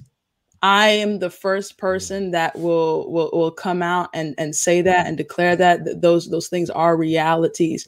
Mm-hmm. That said, um, the Seventh Adventist Church also, I believe, is colonialist because of its global practices. So, because it does care about natural disasters in other countries and does care about poverty and other kinds of social issues internationally and has cared about such for decades, um, one cannot say that they are not engaged at some level. What I find to be problematic within the Seventh day Adventist Church system and structure is that they are structurally and systematically disengaged from conversations of race and racism globally. So, whether that be whether with Nazi Germany during World War II, whether that be within South Africa and um, the apartheid, or that be right here in North America, the Seventh day Adventist Church has a poor history and a lack of engagement in dealing with the issues of race and racism. They also have a poor history of practicing a kind of evangelism that, quite frankly, I heard uh, Pastor Mike Polite say this a few years ago, is a modern conception of colonialism. So that what you see is they do go to other countries, particularly brown countries, particularly uh, poor countries and impose upon them European white American modes of spiritual practice. And so you must engage in Adventism in this particular way. They then demonize other kinds of engage of spiritual engagement. So that when we have conversations about decolonizing the Adventist mind, let's even just take the black off of it. If we're going to decolonize the Adventist mind, what we're saying is that we're trying to get the global Seventh day Adventist church to be open to a kind of Adventist engagement that is not specific to a white American or white European practice of the religion. All right. That said, um, I also think that we need to deal with the fact that the previous conversation, this conversation, and the conversation to come has not one African thinker, African immigrant on it. Oftentimes, when we have these conversations about decolonizing the Black mind and we speak about connecting to the continent, this is a very invisible continent that never gets a voice here in this country. And so, if we're going to say that we want to reconnect to our African roots, then we must be willing to give our African brothers a voice in that conversation. If they cannot actually speak to how they are decolonizing themselves on the continent, and nor can they speak to how they are decolonizing themselves here in the States, then the conversation that we are having is very imaginative and very futurist, but also very exclusive. And so when we have a conversation about sovereignty, and you ask me, Claudia, uh, what are your thoughts about sovereignty? I'm not here for it. I'm gonna keep it a hundred thousand. Uh, I think prior to coming, I was I was thinking of how to be like politically and open, and then I'm not here for it. I fundamentally agree with what uh, Dr. Ty said. I have zero energy that I'm willing to put towards the creation of an exclusively Black Adventist denomination. That said, um, I'm not going to um, judge anybody who wants to put all their energy into that. If that's what you want to do, then that's what's up. This is where I venture off, though. This is why I venture off because, as far as I know, President Ted Wilson is not aware of what your local church pastor wants to do in the community. If you want to set up your church to be a polling place, it's not going to end up on President Wilson's desk. If you want to be in the community and you want to work with the reentry of prisoners uh, or former inmates, President Wilson is not going to be aware of that work. If you want to be in the community, you want to do a voter registration job, President Wilson's not going to be aware of that work. So, any social justice work, I'm not even talking about charity because, quite frankly, I personally believe the Seventh day Adventist Church does a fantastic job with charity, uh, particularly international charity. Now, I find that to be problematic. But if we're going to, to, to say that they do something or that they don't do something, let's say what they do and what they don't do. They do charity, internationally char- international charity extremely well. What they don't do is justice. What they don't do is dealing with systems, structures, and powers that work to oppress people that, that goes back to that theology and doctrine of dominance that Jeremiah was talking about. So that when we have an issue within the Black regional work around our uh, church's lack of social and community engagement, while there is a culture and a system within Adventism that frowns upon that kind of engagement, or they will come up with some kind of a theological explanation for why you should not engage in it. Nobody is at GC session voting about whether or not you can do something in the community. It's not on the docket, not in the agenda. Nobody is caring about it.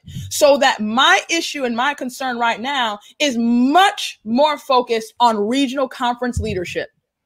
70% of your tithe sits within the regional conference. Okay. Now, does your tithe dollar play for the GC session? Absolutely. Does it pay for NAD stuff? Absolutely. Does it pay for international ministries and missions? Absolutely. But 70% of that joint is at the regional conference level. It is with the it is with the black leadership. so that the conversation is not so much about what white Adventists are not letting us do. The conversation should be around what our Black regional conference leadership saying that we can and cannot do. And I also don't feel as though the Black regional conference leadership are even saying that you cannot do certain things. Um, I do not see, hear, or experience any of these kinds of hard, absolute truths. And so my my encouragement for people when i when i think of decolonizing the black adventist mind sovereignty and moving in this direction i think that we need to be thinking how can i personally at the low as a local leader whether that be lay or pastoral how can i decolonize my own mind? How can i empower myself and my local community to do what I believe God has called me to do in the community and stop blaming white Adventism for stuff that they, quite frankly, aren't even aware we want to do, let alone are systematically impeding us from being able to do it.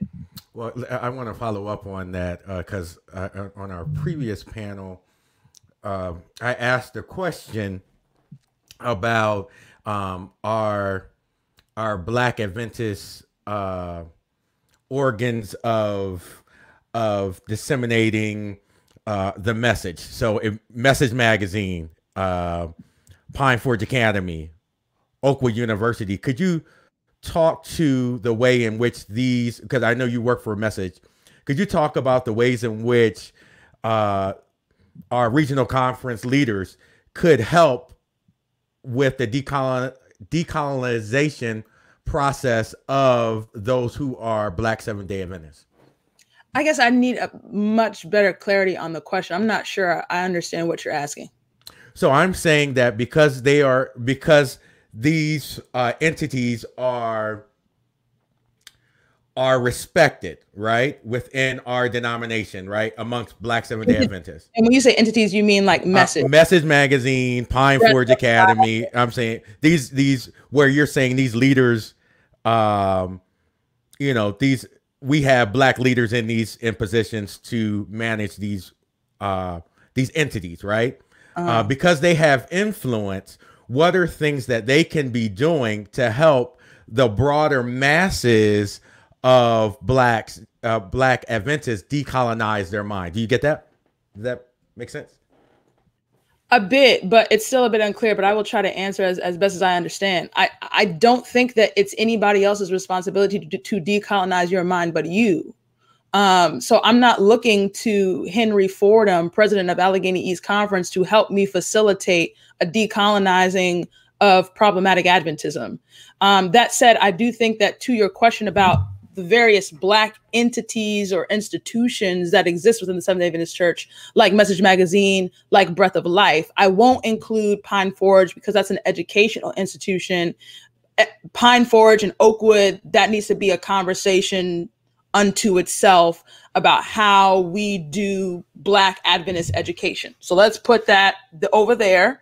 That sits with President um, Leslie Pollard um, and the individuals that that work at Pine Forge.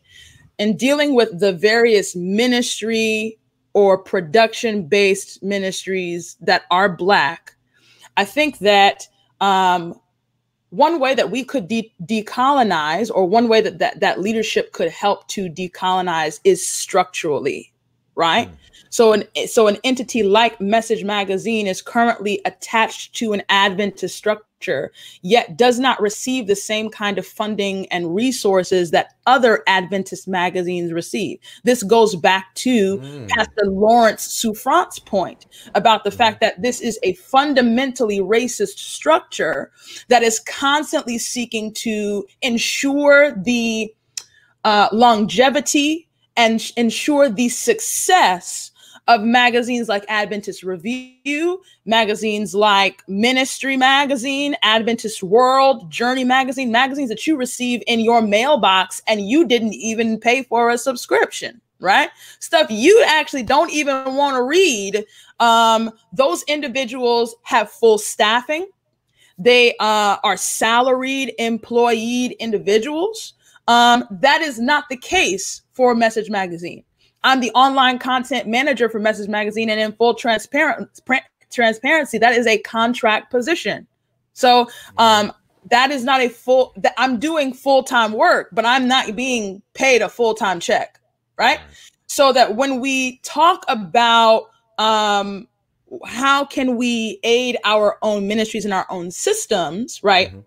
I think that that goes to, you know, how can the regional conference presidents support some of our own missions and ministries? That said, I also am aware that they are in conversations and are already working the structural systems out for something like a message magazine and for a breath of life, right? So they are Somebody all- said pay that hashtag pay that woman. so that, that's, that, that's Dr. Tiffany Luella so when we are so when we're so when we're talking about this right on the one hand we need to be aware of the fact that the regional conference leadership currently is at work revamping their system and structure for the support of our predominantly black ministries within the church all right and so I think that that's a work that they can and and and should continue to do. But I want to go back to this because I feel like the underlying point is about sovereignty is dealing with local churches and local individuals being able to do the kind of social community work they desire to do. And my my perspective, my opinion mm-hmm. is that um, you have you do not have an outright barrier to the kind of ministry that you want to do. You might not have the resources, right? So maybe the conversation needs to be how can our regional conference uh, leadership restructure our tithe allocation and set up a specific budget for local churches to be able to do this kind of work, right? Rather than us seeking to get uh, grants from secular institutions and entities. Why is it that local churches cannot write to the regional conference and say, I want to do XYZ in my local church? I need a $10,000 grant. Why does that? Why is there not an office and a budget that is available for the, those kinds of funds to be allocated to local churches and pastors? That I think is what our conversation should be about. How can we reframe and restructure what already is a Black independent Adventist ministry, while it is a subset of the of the global Adventist Church, is already an independent Black Adventist ministry that simply needs a much more effective structure? Its current mode of operation administrative administratively logistically is not working for our local pastors for our lay people for our ministers and for our communities. So how can we revamp our regional conferences so that they work to the benefit of the visions and the goals and the objectives that we have for our communities Thank you, thank you for for that perspective, uh, Dr. Ty. I, I, need to go to Jeremiah first. Uh, however, um, well, I'll, I'll, I'll, let Jeremiah go first. Um, first of all, I want to say that I think we need to understand as far as bringing someone African on, they're going through the same struggle. The the brother who who was pushing decolonization on the in African Adventism, they kicked him out the church. The one who was pushing it the most, they kicked him out the church. Oh yeah, that's I remember him. that. Yeah, he yeah, can't yeah. even yep. preach in SDA churches anymore. So they're going yep. through their own struggle there, and they're probably actually a couple of steps ahead of us, but not yep. too far. Um, so even just bringing someone African on won't be enough. It needs to be somebody who who is in the struggle for decolonization on the continent. Uh, but um, also, I, I I think I think it needs to I think we need to understand that like this is not an either or. Like it's not this idea mm-hmm. of sovereignty is not an either or. Like we have we have independent ministries like Amazing Facts and 3ABN who are putting out mm-hmm. racist dog whistles like Russell Wilson throws footballs. I mean like like and they're independent SDA ministries who work alongside the church. There's no yep. reason why people like Pastor Souffrant can't can't raise up independent ministries that work alongside the church. We need to have our ministries to do that. But even more importantly, like I, I, am going to say something prophetic for the SDA church as a whole. Hmm. Like the new generation, Generation X, and I'm starting to feel old, and I'm I'm like a young Xer, but Generation X on down, Mm-hmm. They got the internet. They got all kinds of information they want. And the Seventh day Adventist Church needs to realize that this movement for indigenization, this this this this, this movement for decolonization is not going away. And and it is a problem when SD when the SDA president and his cronies and even a brother was up there with them dressing up like plantation owners um, at, at, annual council. Like stuff like that is a problem. It's a problem. Well, agreement. And and and I and I think that we need to understand that people are going to do this. Like it's going to happen. Yeah. People are going to indigenize. People are going to decolonize, and the SDA Church, its very structure, is is built in a way that will never allow the regional conferences to fully be what they be what they could be. It will never allow things to people to fully decolonize themselves. What we need to do, this is a prophetic word for the Seventh day Adventist Church. You got to change your structure or die. Bottom line. Because even the prophetess, Ellen White, said that the power should be at the union level. Most of the power should be at the union level instead of at the GC where it can create uh, uniformity. And if we put the power back at the union level, the Southern Union can come in and say, look, our, our people um, need this. You know, the, the, the, regional conferences could, could create a union and boost up ma- Message Magazine. You know, those type of things could happen. If we transition the power from the top back to where it belongs, then then then the SDA church can look to exist in the future. Otherwise, what you're going to have is you're going to have a mass exodus to independent ministries that, that are meeting the needs of justice, that are meeting the needs of the community, that, that are not tolerating uh, uh, uh, dog whistles such as dressing up like plantation owners, uh, that, that will not tolerate things like disallowing uh, women to to be to be ordained and having this this this this uh, misogynistic glass ceiling across the entire globe. Like there's generations like three or four generations that are not going to put up with that. And unless we make a, a systemic structural change to allow different regions to uh, place and space as, as, as dr douglas talked about earlier unless we allow space and place to dictate how people express their Seventh Day Adventism, it's going to bring the entire structure down. And, and, and so that I think this idea of sovereignty is, it, it, it has to it has to be something that is embraced by the world church, understood that this is not an if, like this is going to happen. It, it, and it's not just within Adventism. People all over the world are starting to decolonize and indigenize and, and, and so if, if we don't get ahead of this thing and become part of the movement, because really, look, and, and I'll say this and I'll get out the way, but like we talk about the three angels movement, come out of her, my people. Like if we're really going to preach about coming out of Babylon, why don't we identify who Babylon is? Uh, it's white supremacy and really come out of her. like let's is. really come. Let's really let's let's come out of her while we're preaching for people to come out of her. Yeah. Well, let me let me say this. Um, one of the things that. Uh, um, that I've noticed and I've heard people say is that essentially we don't even hear about Generation X anymore, uh, Patrick Sepolen. We we essentially have said, oh, that's a lost generation, and so now you hear millennial, millennial, millennial, millennial. So I'm uh, so I'm on the the uh, so I'm an Xennial as they as they call I'm it. So I'm, I'm right in there, too. right in that in that middle. and so I think there, I think this call for sovereignty, a sweet spot is this uh, disinfe- disaffected group that is probably not coming back to an organized structure such this, the organized structure of the Seventh Day Adventist Church. So even if you restructured the uh, the Adventist uh, Church, that may not. There are so many tenets that that uh, some people don't agree with, and I think Pastor Souffrant kind of talked about that on Wednesday. There are various tenets that people don't be- don't necessarily agree with within our church just to restructure it does not change some of those but some of those challenges. It does to some degree because what the gc does is the gc creates uniformity. You know when we developed the 28 month well it was 27 at the time fundamental belief there was a lot of pushback on that originally because it created a dogma that that that created uniformity within the church.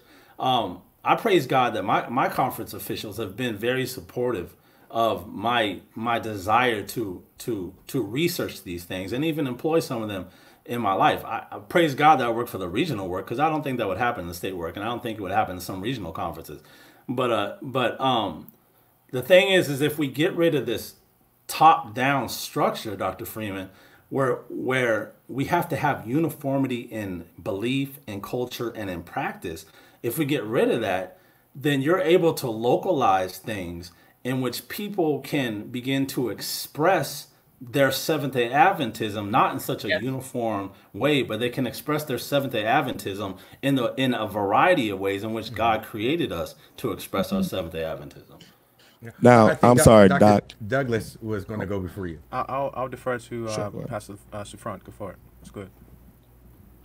Thank you. I appreciate it. i I'm going to be extremely quick because what we're doing now is redefining Adventism, which I think is okay.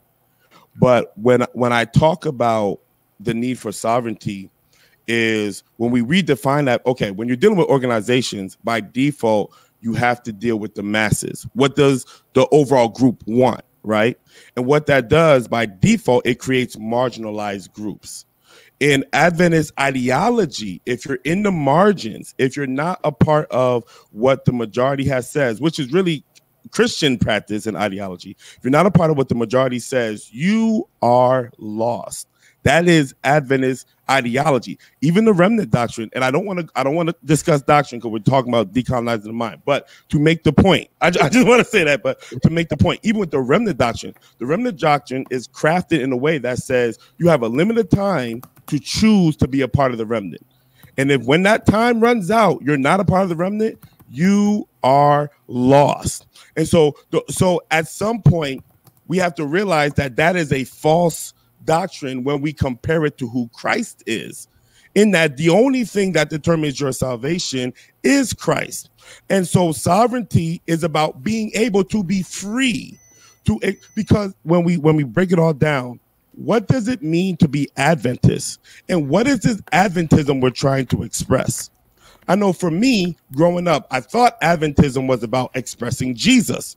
But as I got older, I realized no, Adventism is not about expressing Jesus. Why do I still fellowship with Adventists? Because we, as Black Adventists, created a culture that I enjoy. I love haystacks. I love Vespers. You know, I, I love these things that are, you know, Adventists. Like, you don't, like, outside of Adventism, haystacks are nothing but nachos, right? But we call them haystacks, whatever. I enjoy that. I enjoy being able to a taco salad, right? Exactly. I, I, enjoy being able to go to a potluck and have theological discussion with people where we can be heated in the discussion and end the discussion with, well, you know, at the end of the day, God is love. And we're all like, yeah, we hug and we sing a song and we pray to close the Sabbath. I love that stuff. But outside of that, when we're talking about who God is, who we are in Christ, there are some things in Adventism that a lot of us fundamentally disagree with and I don't know if we have time to explore what is Adventist. I think we can avoid all of that exploration and say, who are you in the Most High? And create something or join something that best aligns with who you are in God, which is very much what the indigenous people have done. They had base understandings, but even each family would have their own traditions that represent who they were in relation to the community and who they were in relation to the Most High.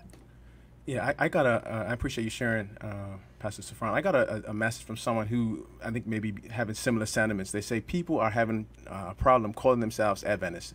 This is a text. Uh, when the head of our denomination are fine with social, uh, with not talking about social justice, and they don't care about uh, police killings. They support and, and the races. They no longer want people no longer want to be a part of our organization. That's that's a sentiment that's out there. I, I, I and, and I'm sensitive to those realities as someone who is an advocate um, and, and you know engaged in activism as well.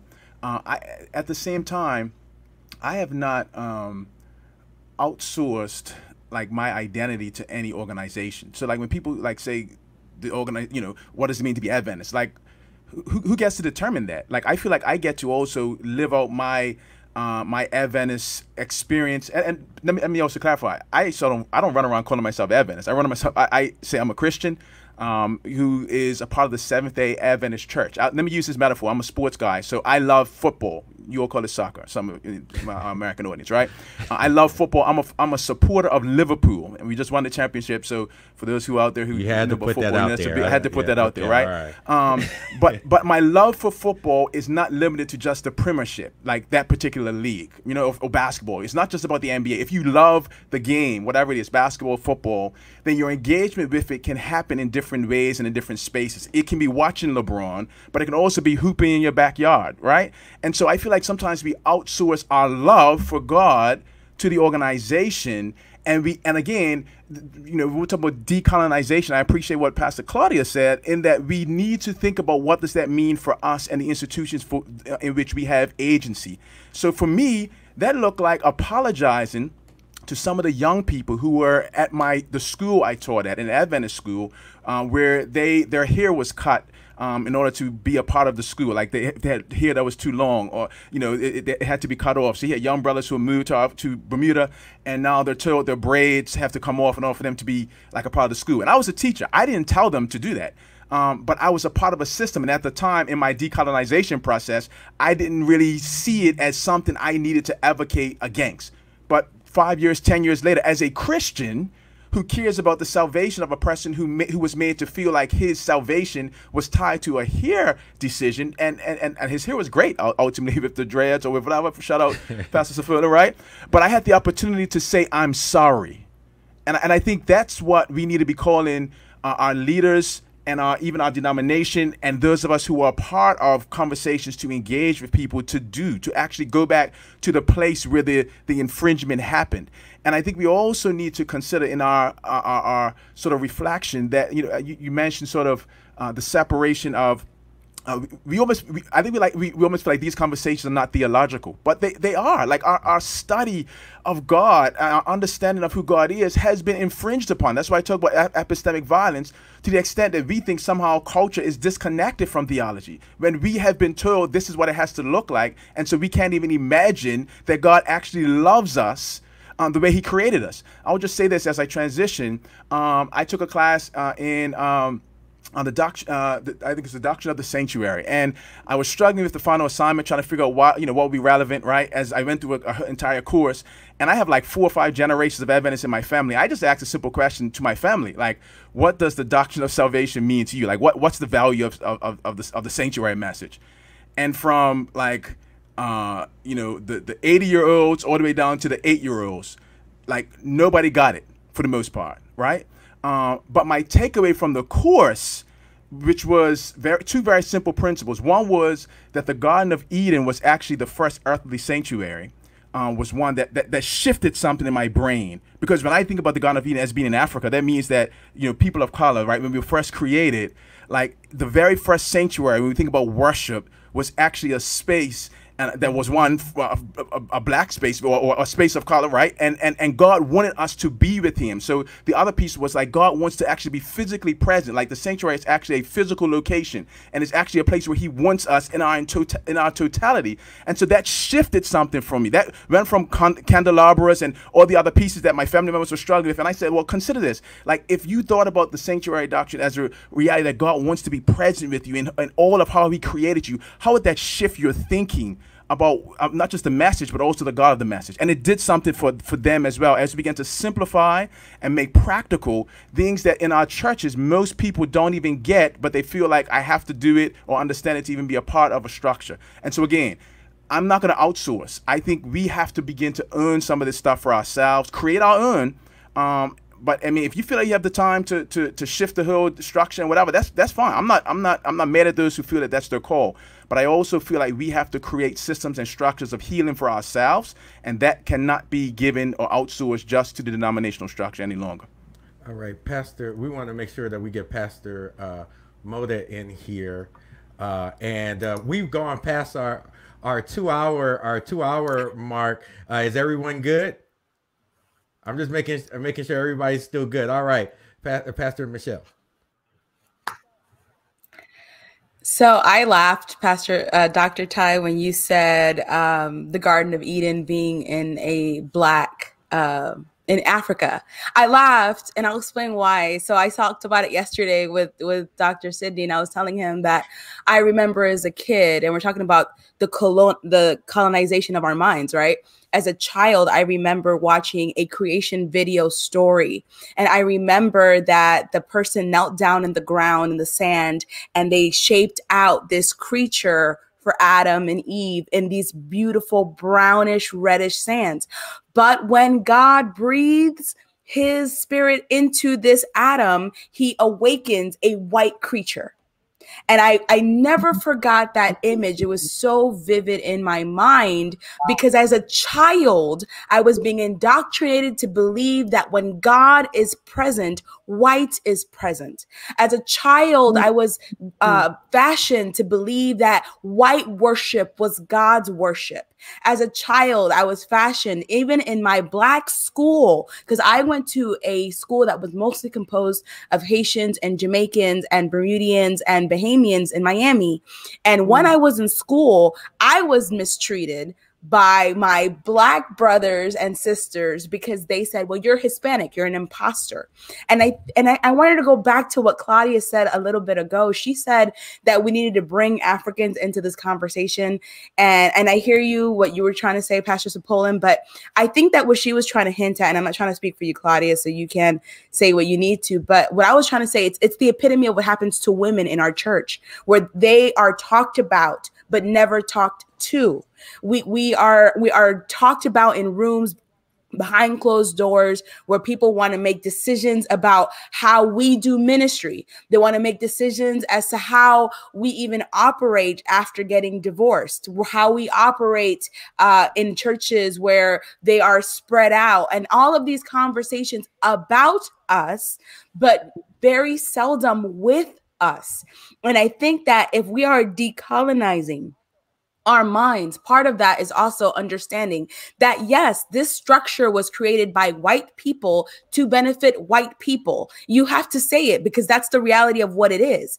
But I don't, I want to caution against this idea of burn it down and, and just, you know, start over. You know, I no shade to anyone who leaves the Adventist church go on with your business. God has called all of us to different walks of life, and I believe that He empowers us to make those decisions. I don't think that we have a heaven or hell to put people in.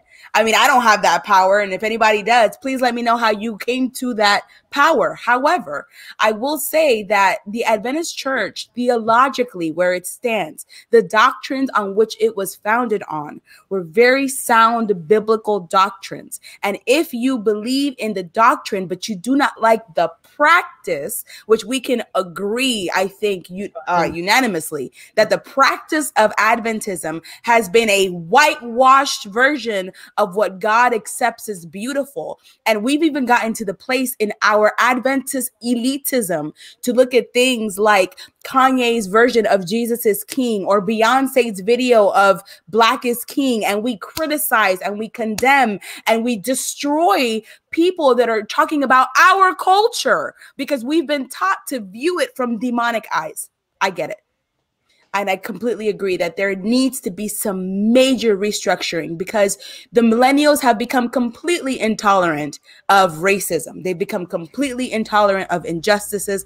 They have become completely intolerant with even the way that we treat gays, the way that we treat women, the way that we treat people with disabilities in our churches, it, it, the the the stigma of mental health in our churches.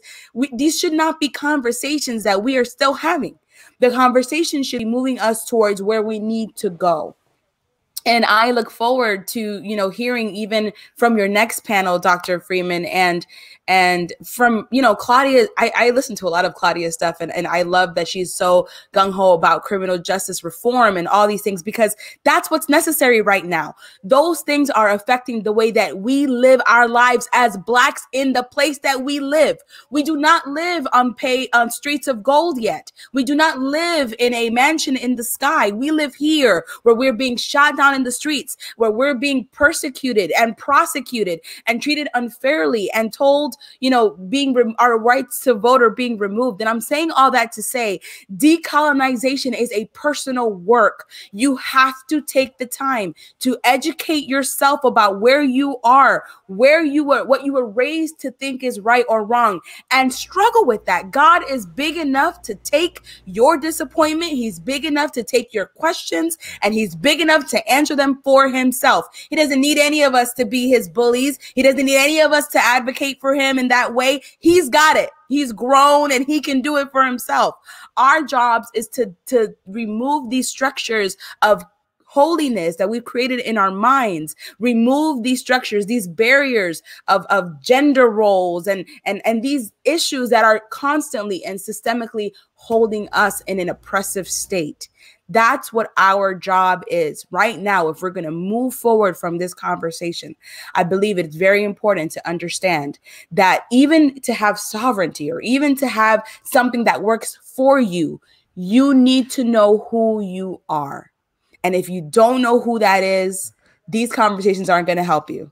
And no, no, no one will be able to help you until you come to the reality face to face with who you are, yeah, where so, your identity. Is. So there's there's uh, give me a second, uh, Dr. Ty. Uh, so there's there's two things I want to uh, to mention. Thank you so much, Dr. Mota, for what you what you shared.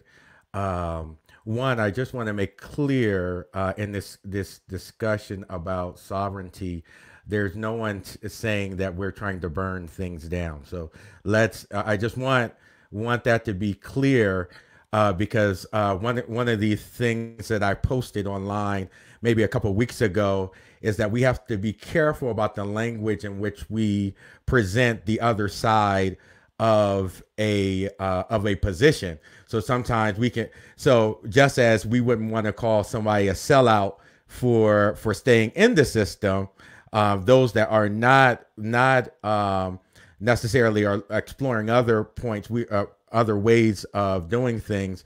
Uh, we don't want to use language that would um, could be perceived as disparaging on that point of view. I also uh, want uh, there's uh, Stanley James uh, brought up a question uh, that I did not, I don't think I was able to do at the beginning of this conversation, but I, I think is really important uh, to uh, to address is uh, what is the biblical basis of these arguments and kind of this whole notion of decolonizing uh, the Black Adventist mind. And so um, there are two texts in which I've grounded this work in, or I've drawn inspiration related to this. So uh, if uh, you, you guys may want to put it uh, in the chat or write these two texts down, but use uh, uh, most of you probably will be familiar with them.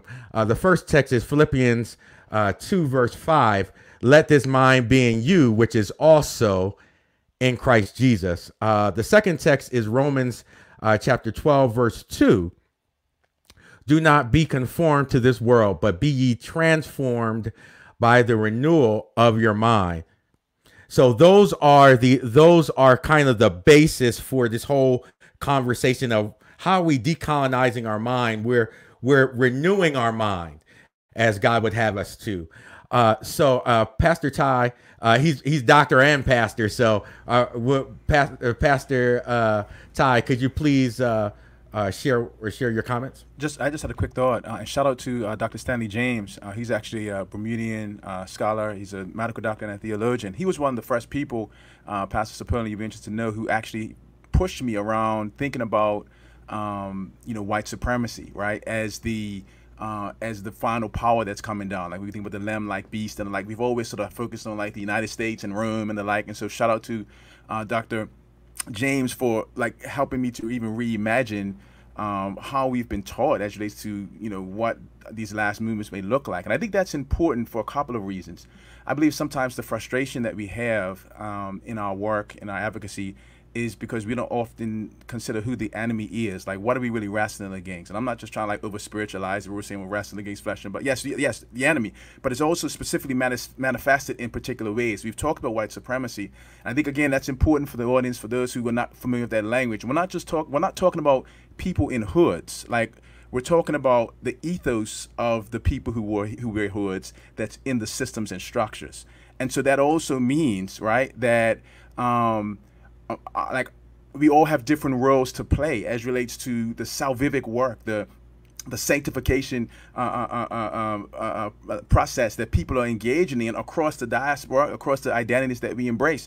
Um, that means that our white brothers and sisters have a lot of work to do as well. Like I believe that they struggle to love their neighbors as themselves because of how the structure has been set up. Like so, some of us have a response, have a not not responsibility necessarily, but a may feel a calling to engage with folks in that space. There are others who have a calling to uh, uh, uh, to start something different. There are others who may, you know what I'm saying? So I think we get frustrated because we feel like it has to look this particular way. Yeah. But I've actually enjoyed in this season, in this COVID context, where we've, we've got a chance to pull back from like having to produce programs every single week for people and like everyone's beginning to sort of reimagine what their time looks like, including enjoying the Sabbath, and um, and then you know uh, uh, creating podcasts or doing various things. But again, we have to do those things understanding that this is a struggle that is bigger than us. And even Ellen White, I want to shout out, you know, Sister uh, uh, Pastor Lola Moore, who highlighted in the last panel. Um, you know how Ellen White was sent to Australia when she began to talk about these things, right? And so this is not new. We're, going to engage in this fight until the end um, because it's a stronghold and because it's a reflection of the dismantling of the United States. And the United States is not, it's not just about a country, it's the ethos that came from Europe, but ultimately goes all the way back to the uh, ultimate enemy. And so uh, I think we need to begin to connect those dots. So when you think about, for example, critical race theory, which talks about the permanence of racism as a fundamental talent of critical race theory, CRT, which uh, the president has come up against, you know, recently. Yeah, can we even like, talk about that? Yeah, yeah. So critical race theory is uh, a, a, a, theoretical framework that uh, uh, was started by a scholar, Derek Bell, and others uh, to get us to think about elements of uh, uh, and the experiences of of living in uh, a racist context. And so there are key tenets. Like one of them is the permanence of racism. In other words, like we have to consider the fact that as black people, you know what I'm saying? Like like how and when you came into a space matters. And so uh, uh, before we could earn property as black people for example we had to stop being property right and so that's a, a something you have to think when you think about that that that journey that's different right and so that also means for if you're someone from the caribbean or from the continent of africa and you came to the united states on delta like your journey here was different than if your ancestors came under the bows of a boat yeah. And so, like how you see the space and the opportunity here, it could be very different based on how you came. So, if you begin to ground what we're doing not just in uh, uh, uh, like like you know some of the the theological elements of it, but also some of the realities of living in this sinful world that we are going to continue to wrestle against this. For a person who's listening, you want to be a part of change. You feel frustrated with the denomination and what has been done. Okay, like what does it look like to create? A movement, and, and I believe that's what you're calling for, Dr. Freeman, that is sovereign, that that is that makes demands, that that causes us to think differently about where our money goes. The interesting thing about Bermuda, for example, you know, we send a, a, a lot of tithe, you know, to the Atlantic Union conference, uh, uh, uh, conference, and uh, uh, you know that I mean that, that, like we and Bermudians don't even get the, the benefit of like the tax write off that you get in the U.S. and we sent it to organizations institutions that don't even necessarily serve our people. We you know AUC was closed and yet we were still sending money to deal with the debt of that. Like so, oh, what does it look like for a Bermudian in this space to begin to ask, well, how are we organizing our money and who says it has to go here and beginning to reimagine? That's that's part of the sovereignty conversation. So again, I I, I want to emphasize the beauty and the breadth of diversity, diversifying our our, our activism, um, and maybe refocusing our energies to engage where you were called to do the work. Yeah. So uh, I see in the uh, in the chat uh, the name of Joshua Mapongo. I'm not familiar uh, with that individual, but uh, it was in the context of someone that could speak to uh, the African uh, perspective of decolonizing um, the Black Adventist mind. And so um, um, I, we'll try to track that person down uh, as we're as we're expanding our network uh, in this in this work. Uh, he's a uh, he's a South African um, scholar who um, does this, and so I can put you in contact with some other South African pastors and other individuals, including him, um, that can speak very well to this and how they're having these conversations, um, specifically in South Africa. Because what I don't want to do also is you know, like brush the whole continent either, you know. So it's like what Africa may be different. Right. Like what yeah. they're talking about in South Africa is not what they're talking about in Nigeria. So, you know, we'll have to, you know, figure out, you know, who do we get in contact with and, and how are they having these conversations across the continent. Yeah, thank you so much. Uh were, Jeremiah, were you wanting to say something? All right. Well, uh, let's go to essentially our, our last question. Uh, recently, there were there have been suggestions made about next steps to decolonizing the Black Adventist mind beyond beyond having panels. Right. Uh, one such suggestion was developing various curriculum for all ages. Uh, what might be other tangible ways that Black Adventists individually and collectively can move forward to decolonize our minds to positively advance our community? read and not just SDA authors. Don't just read SDA authors. Read. You know, um, Dr. Freeman's put uh, for, forward a list. I think it's important to read, but also think it's important to um, speak to people and uh, hear people's experiences. You know, in my doctoral research, sitting uh, with with Native American followers of the way, um, and and engaging in their traditional ways. It, it just it opened up my mind in a way I, I never would have imagined before that. Going to um, Mexico, sitting with Mayas, and and and and hearing their experiences. You know, speaking with my my in laws from from West Africa, hearing their experiences, and just I really think it's important to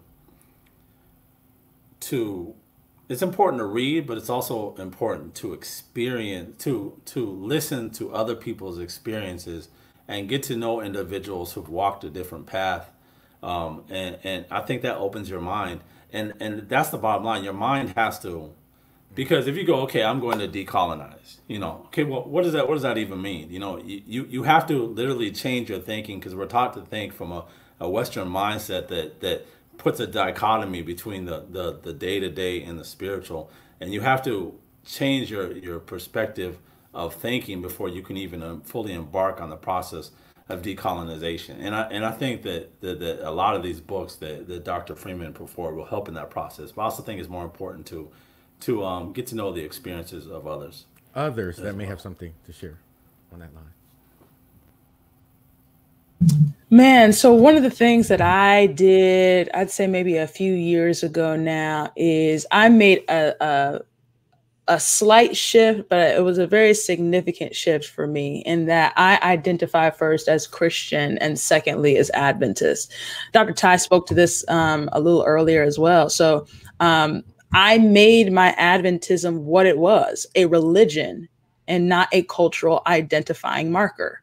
And I think that the moment that you make that intellectual shift, I think that you begin one to engage with Adventism differently, but then you also begin to kind of see how the church is functioning and operating um, differently as well. Because I think that one thing that does need to be said, and uh, Pastor Damian Chandler made this comment um, in the chat um, is that the Seventh Adventist Church is not the only church that's trying to figure out how to do this, right? I think that the problem that we must really deal with is that religion as a whole, organized religion as a whole, particularly white American organized religion, is problematic. it is rooted and grounded in colonialism. So that we, you know, I don't want us to um, share this in such a way that makes viewers feel like, man, the issue is Adventism and the Baptists aren't talking about it. Oh, the yeah. Baptists are talking about it. The Methodists are talking about it. The Episcopalians are talking about it.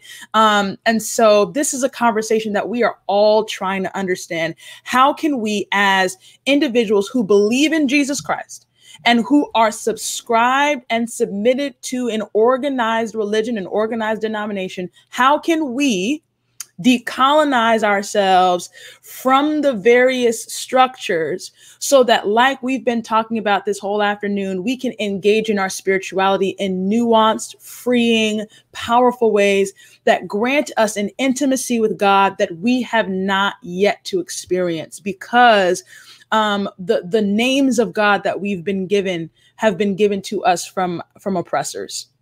And so I think that um, you know Sydney and I we we talked about this you know earlier in the week. You know I think that the, there's so much power in language. Um, there is so much power yeah. in being able to um, name God for yourself um, to have an experience with God that is unique to you and your culture. You know, I'm going to be real. You know, we're talking about blackness. Blackness, one, is not a monolith, but my blackness is so mixed and muddled, man. It is not pure. Uh, you know, we've we've always had conversations about, you know, well, if you're a black American, you know, you're a pure black American. Like, what does that even mean? Like, that's not possible. like, you know, and so my blood has African blood running through it. My blood has Jewish blood running through it. My blood has Native American blood running through it.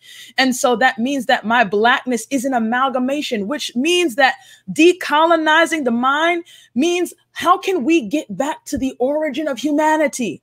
How can we get back to the origin that we all in our humanity bear the very image of God so that I, uh, you know, as Ty always talks about, man, I'm a border crosser. How can we really become border crossers and acknowledge that in our inherent being, we are border crossers? Colonialism is what set up borders and barriers and, and, and boundaries and, and all of that. And what we're trying to say is let's decentralize our cultures. Let's decentralize our religion. Let's decentralize our theology. And in doing that, be embracing of all peoples, all languages, all ideas, all modes of expression. One of the things that I'm, you know, some of the things I'm reading right now, since we're talking about practical stuff, I am excited because I'm about to get into some Japanese theology, guys. Listen, I am about as pro black as they come. But quite frankly, I don't want to read about any more Black theology. I've read all of James Cone, I've read D- Dolores Williams, I've done that track, and I encourage all of you to do that. I think that you've got to really begin to get outside of Black Adventism and into a Black theological expression and understanding that is not Adventist. So I want you to read all those. But I also don't want you to be so restricted to yourself that you don't read Japanese theologians, right? Read Native American theologians, read Mexican theologians. And, and what I'm learning, back to my original point, is that I'm getting a language from them that I di- that I don't have access to because I'm not Japanese. Mm-hmm. I'm getting I get a language from Richard Twiss that I don't have access to because I'm not connected to Native American communities who follow the way. And the language that he uses in, in, in calling God, you know, the creator and the great spirit, you know, and, and, and, and uh, new names for the Holy Spirit, new names for God the Father. When you open yourself up to that kind of stuff, you immediately put yourself in the position and presence of God in a new way.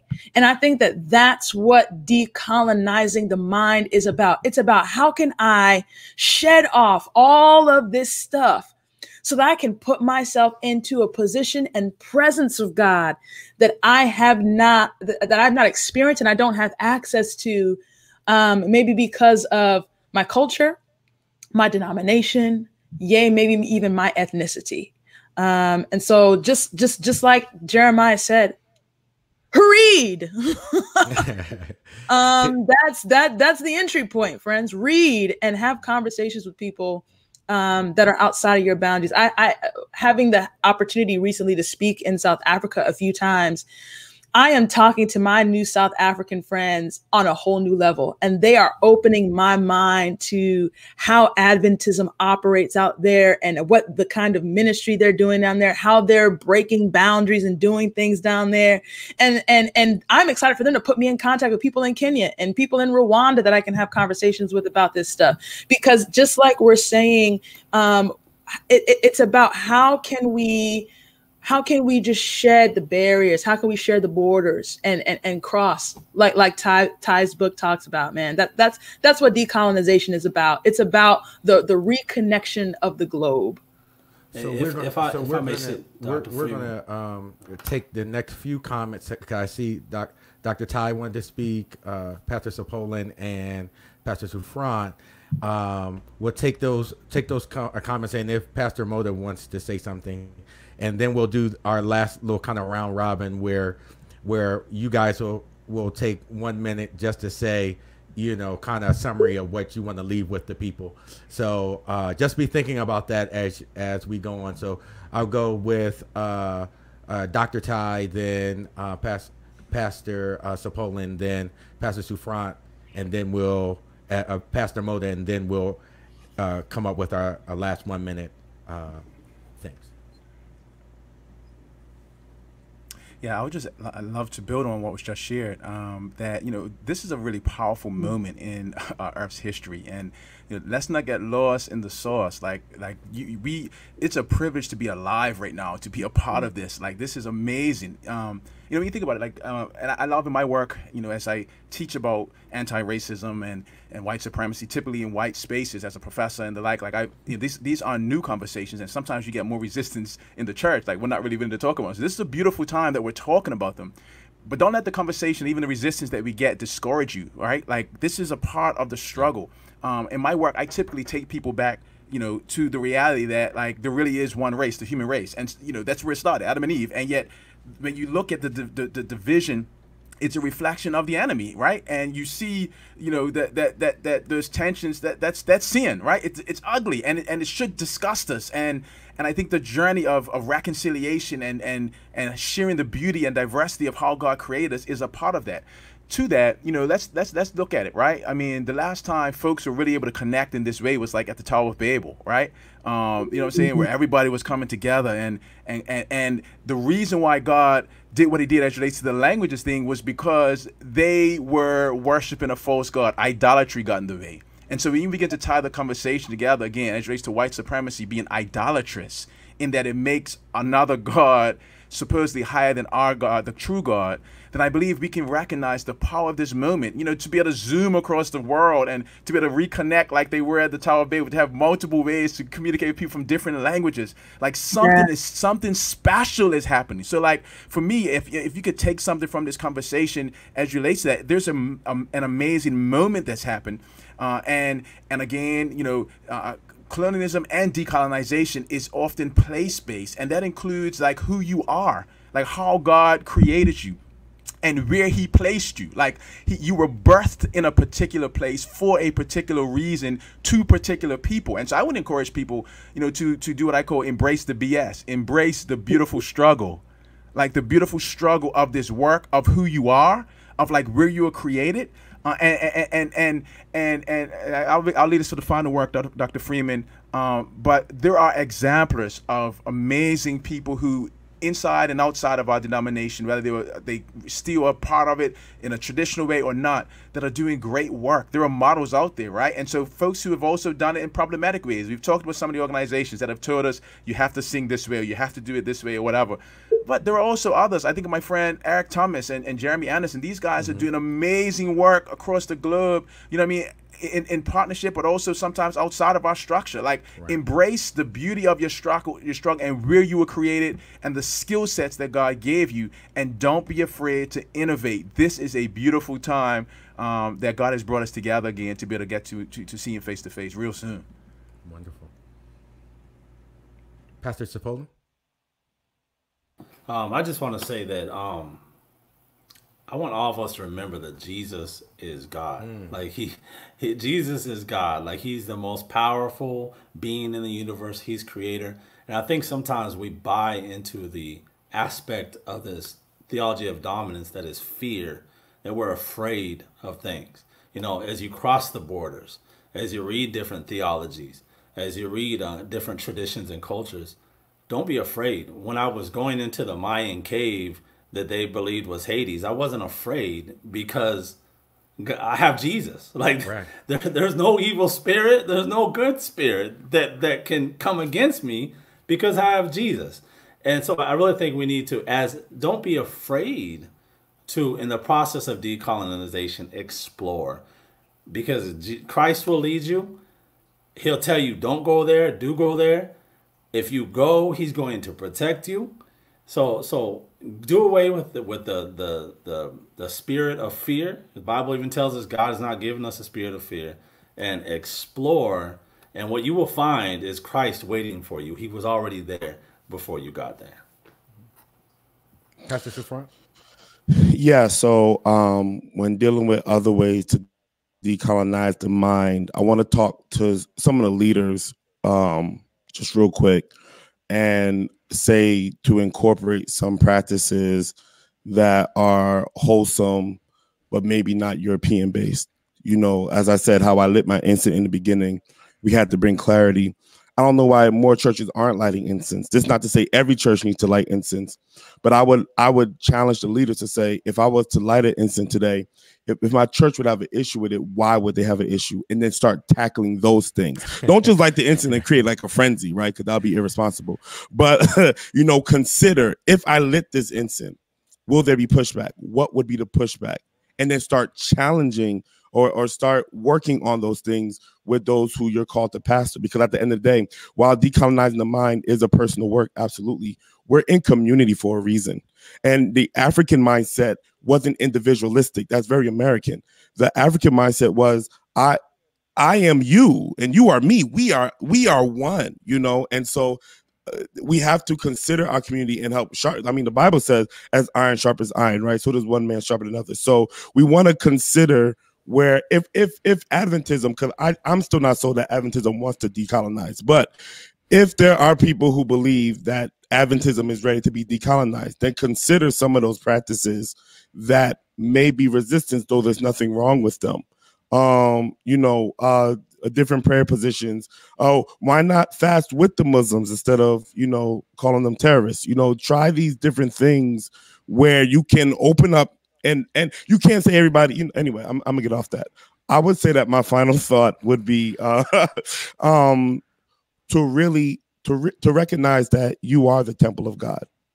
So this abstract idea of God is great for thought and discussion, but you have to also find God within.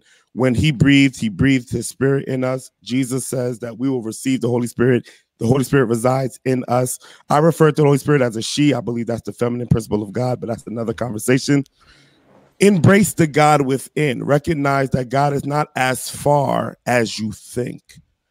That's that is a design for control. Because if God is far, then you have a reason to be afraid, Jeremiah, uh, Pastor, uh, you know, uh, Doctor Jeremiah. But if you recognize that where I go, there is also God then what am I supposed to be afraid of? But I can't I can't just walk in that if I have not yet experienced God within for myself. So get out of the emotionalism, the charismaticism. I love charismatic stuff, but at some point in your quiet hours, can you sense God here inside, not just around? Yeah. So I'm going to let uh, Pastor Mota have kind of the final concluding word as as far as these statements. Uh, there was a question about some of the resources, some of the books. There were a lot of good resources that were mentioned. Uh, my wife put some of those in the comments in the chat. Uh, but uh, I would also encourage uh, those that are looking for those resources. They'll be on my Facebook page. Uh, so uh, if you go to Sydney, my professional Facebook uh, Facebook page, um, Sydney Freeman Jr if you go to that to that page, um, I will be uh, posting those resources. So I would encourage you to go like that page so you can access uh, that info uh, links to those to those uh, to those um, those resources. So, Pastor Mota. So I am I'm very very big on history. Uh, I think it's important to understand what has happened so that you can know what worked, why it didn't work, and how you can take that and implement it in the present so that you can have a future to look forward to. And um, you know, in in in doing my research on my country and obviously on Haiti as well, because you have to do research on both to understand the country. Um, believe it or not, Haiti would have probably been one of the most richest countries today, considering that it was the first Black country to become um, to to release itself and become independent. However, they were stifled not just by outside money coming in, but also a destruction from within. And so when I was saying earlier, burn it down, I wasn't talking about actual, like I was um, think it was taken a little bit out of context. I was referring to what happened in Haiti, where because of the systemic oppression from the French, they decided to remove everything that reminded them of slavery. And in so they ended up removing their highways, their systems of the machines that made the sugar, the plantation systems. They destroyed it and they were afraid of the re of, of people coming back in and taking back over. So they spent money on so many things and people did come back in but not in the way that they expected them to.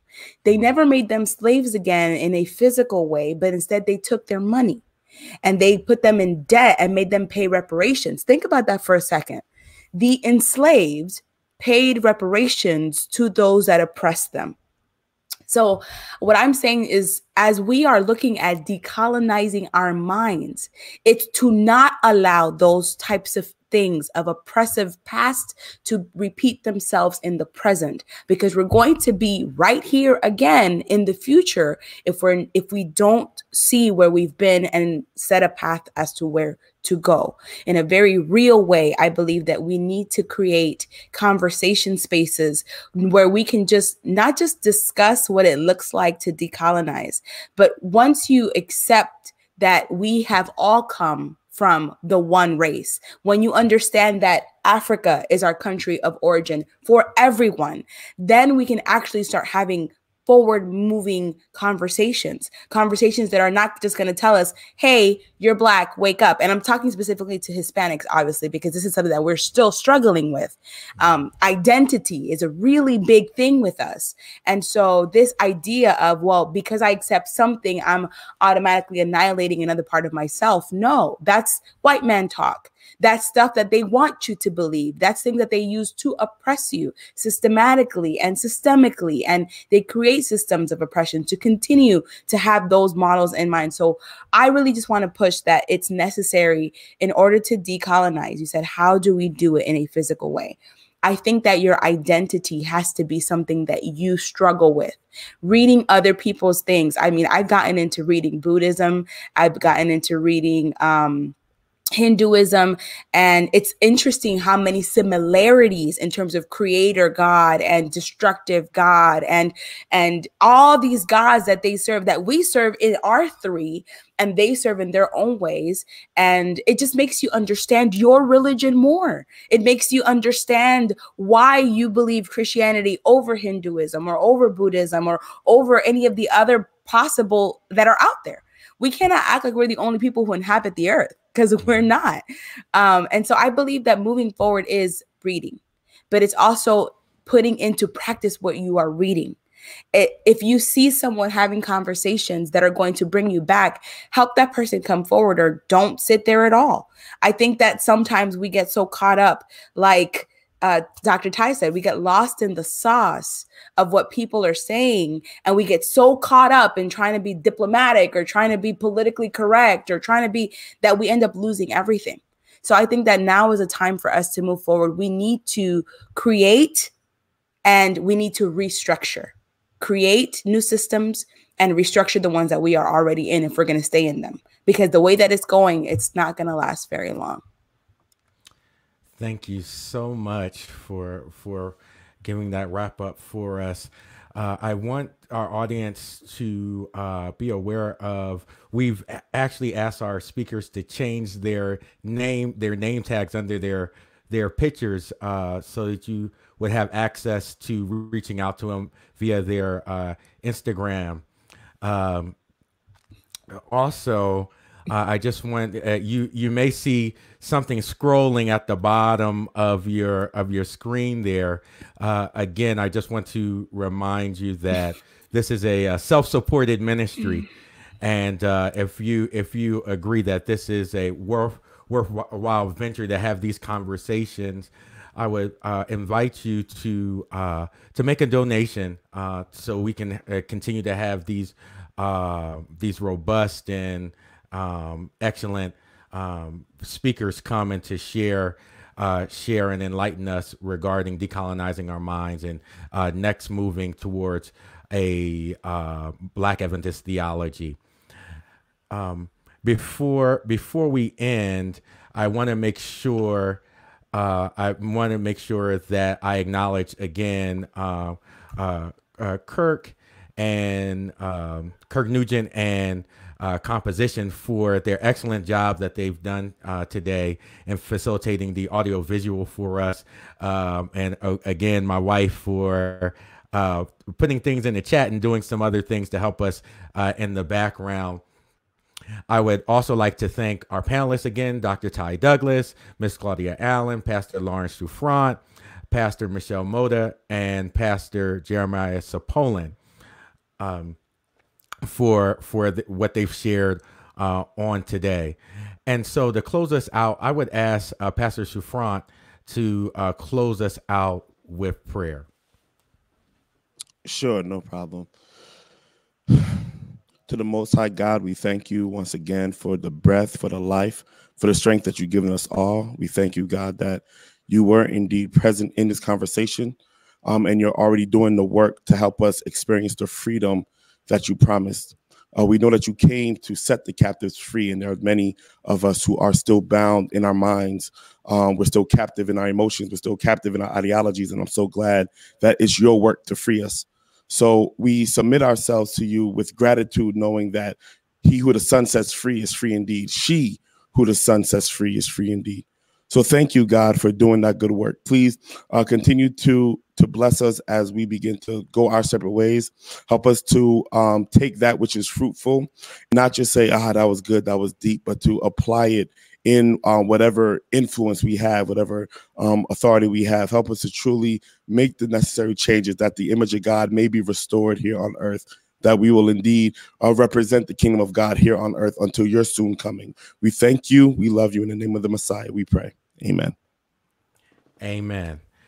Thank you uh, again for all who are watching for your participation. Uh, please don't forget to like the Facebook page. Um, Sydney Freeman Jr.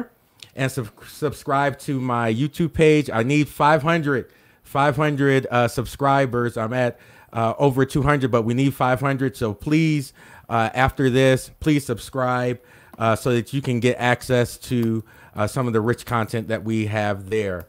have a wonderful rest of your Sabbath. Blessings.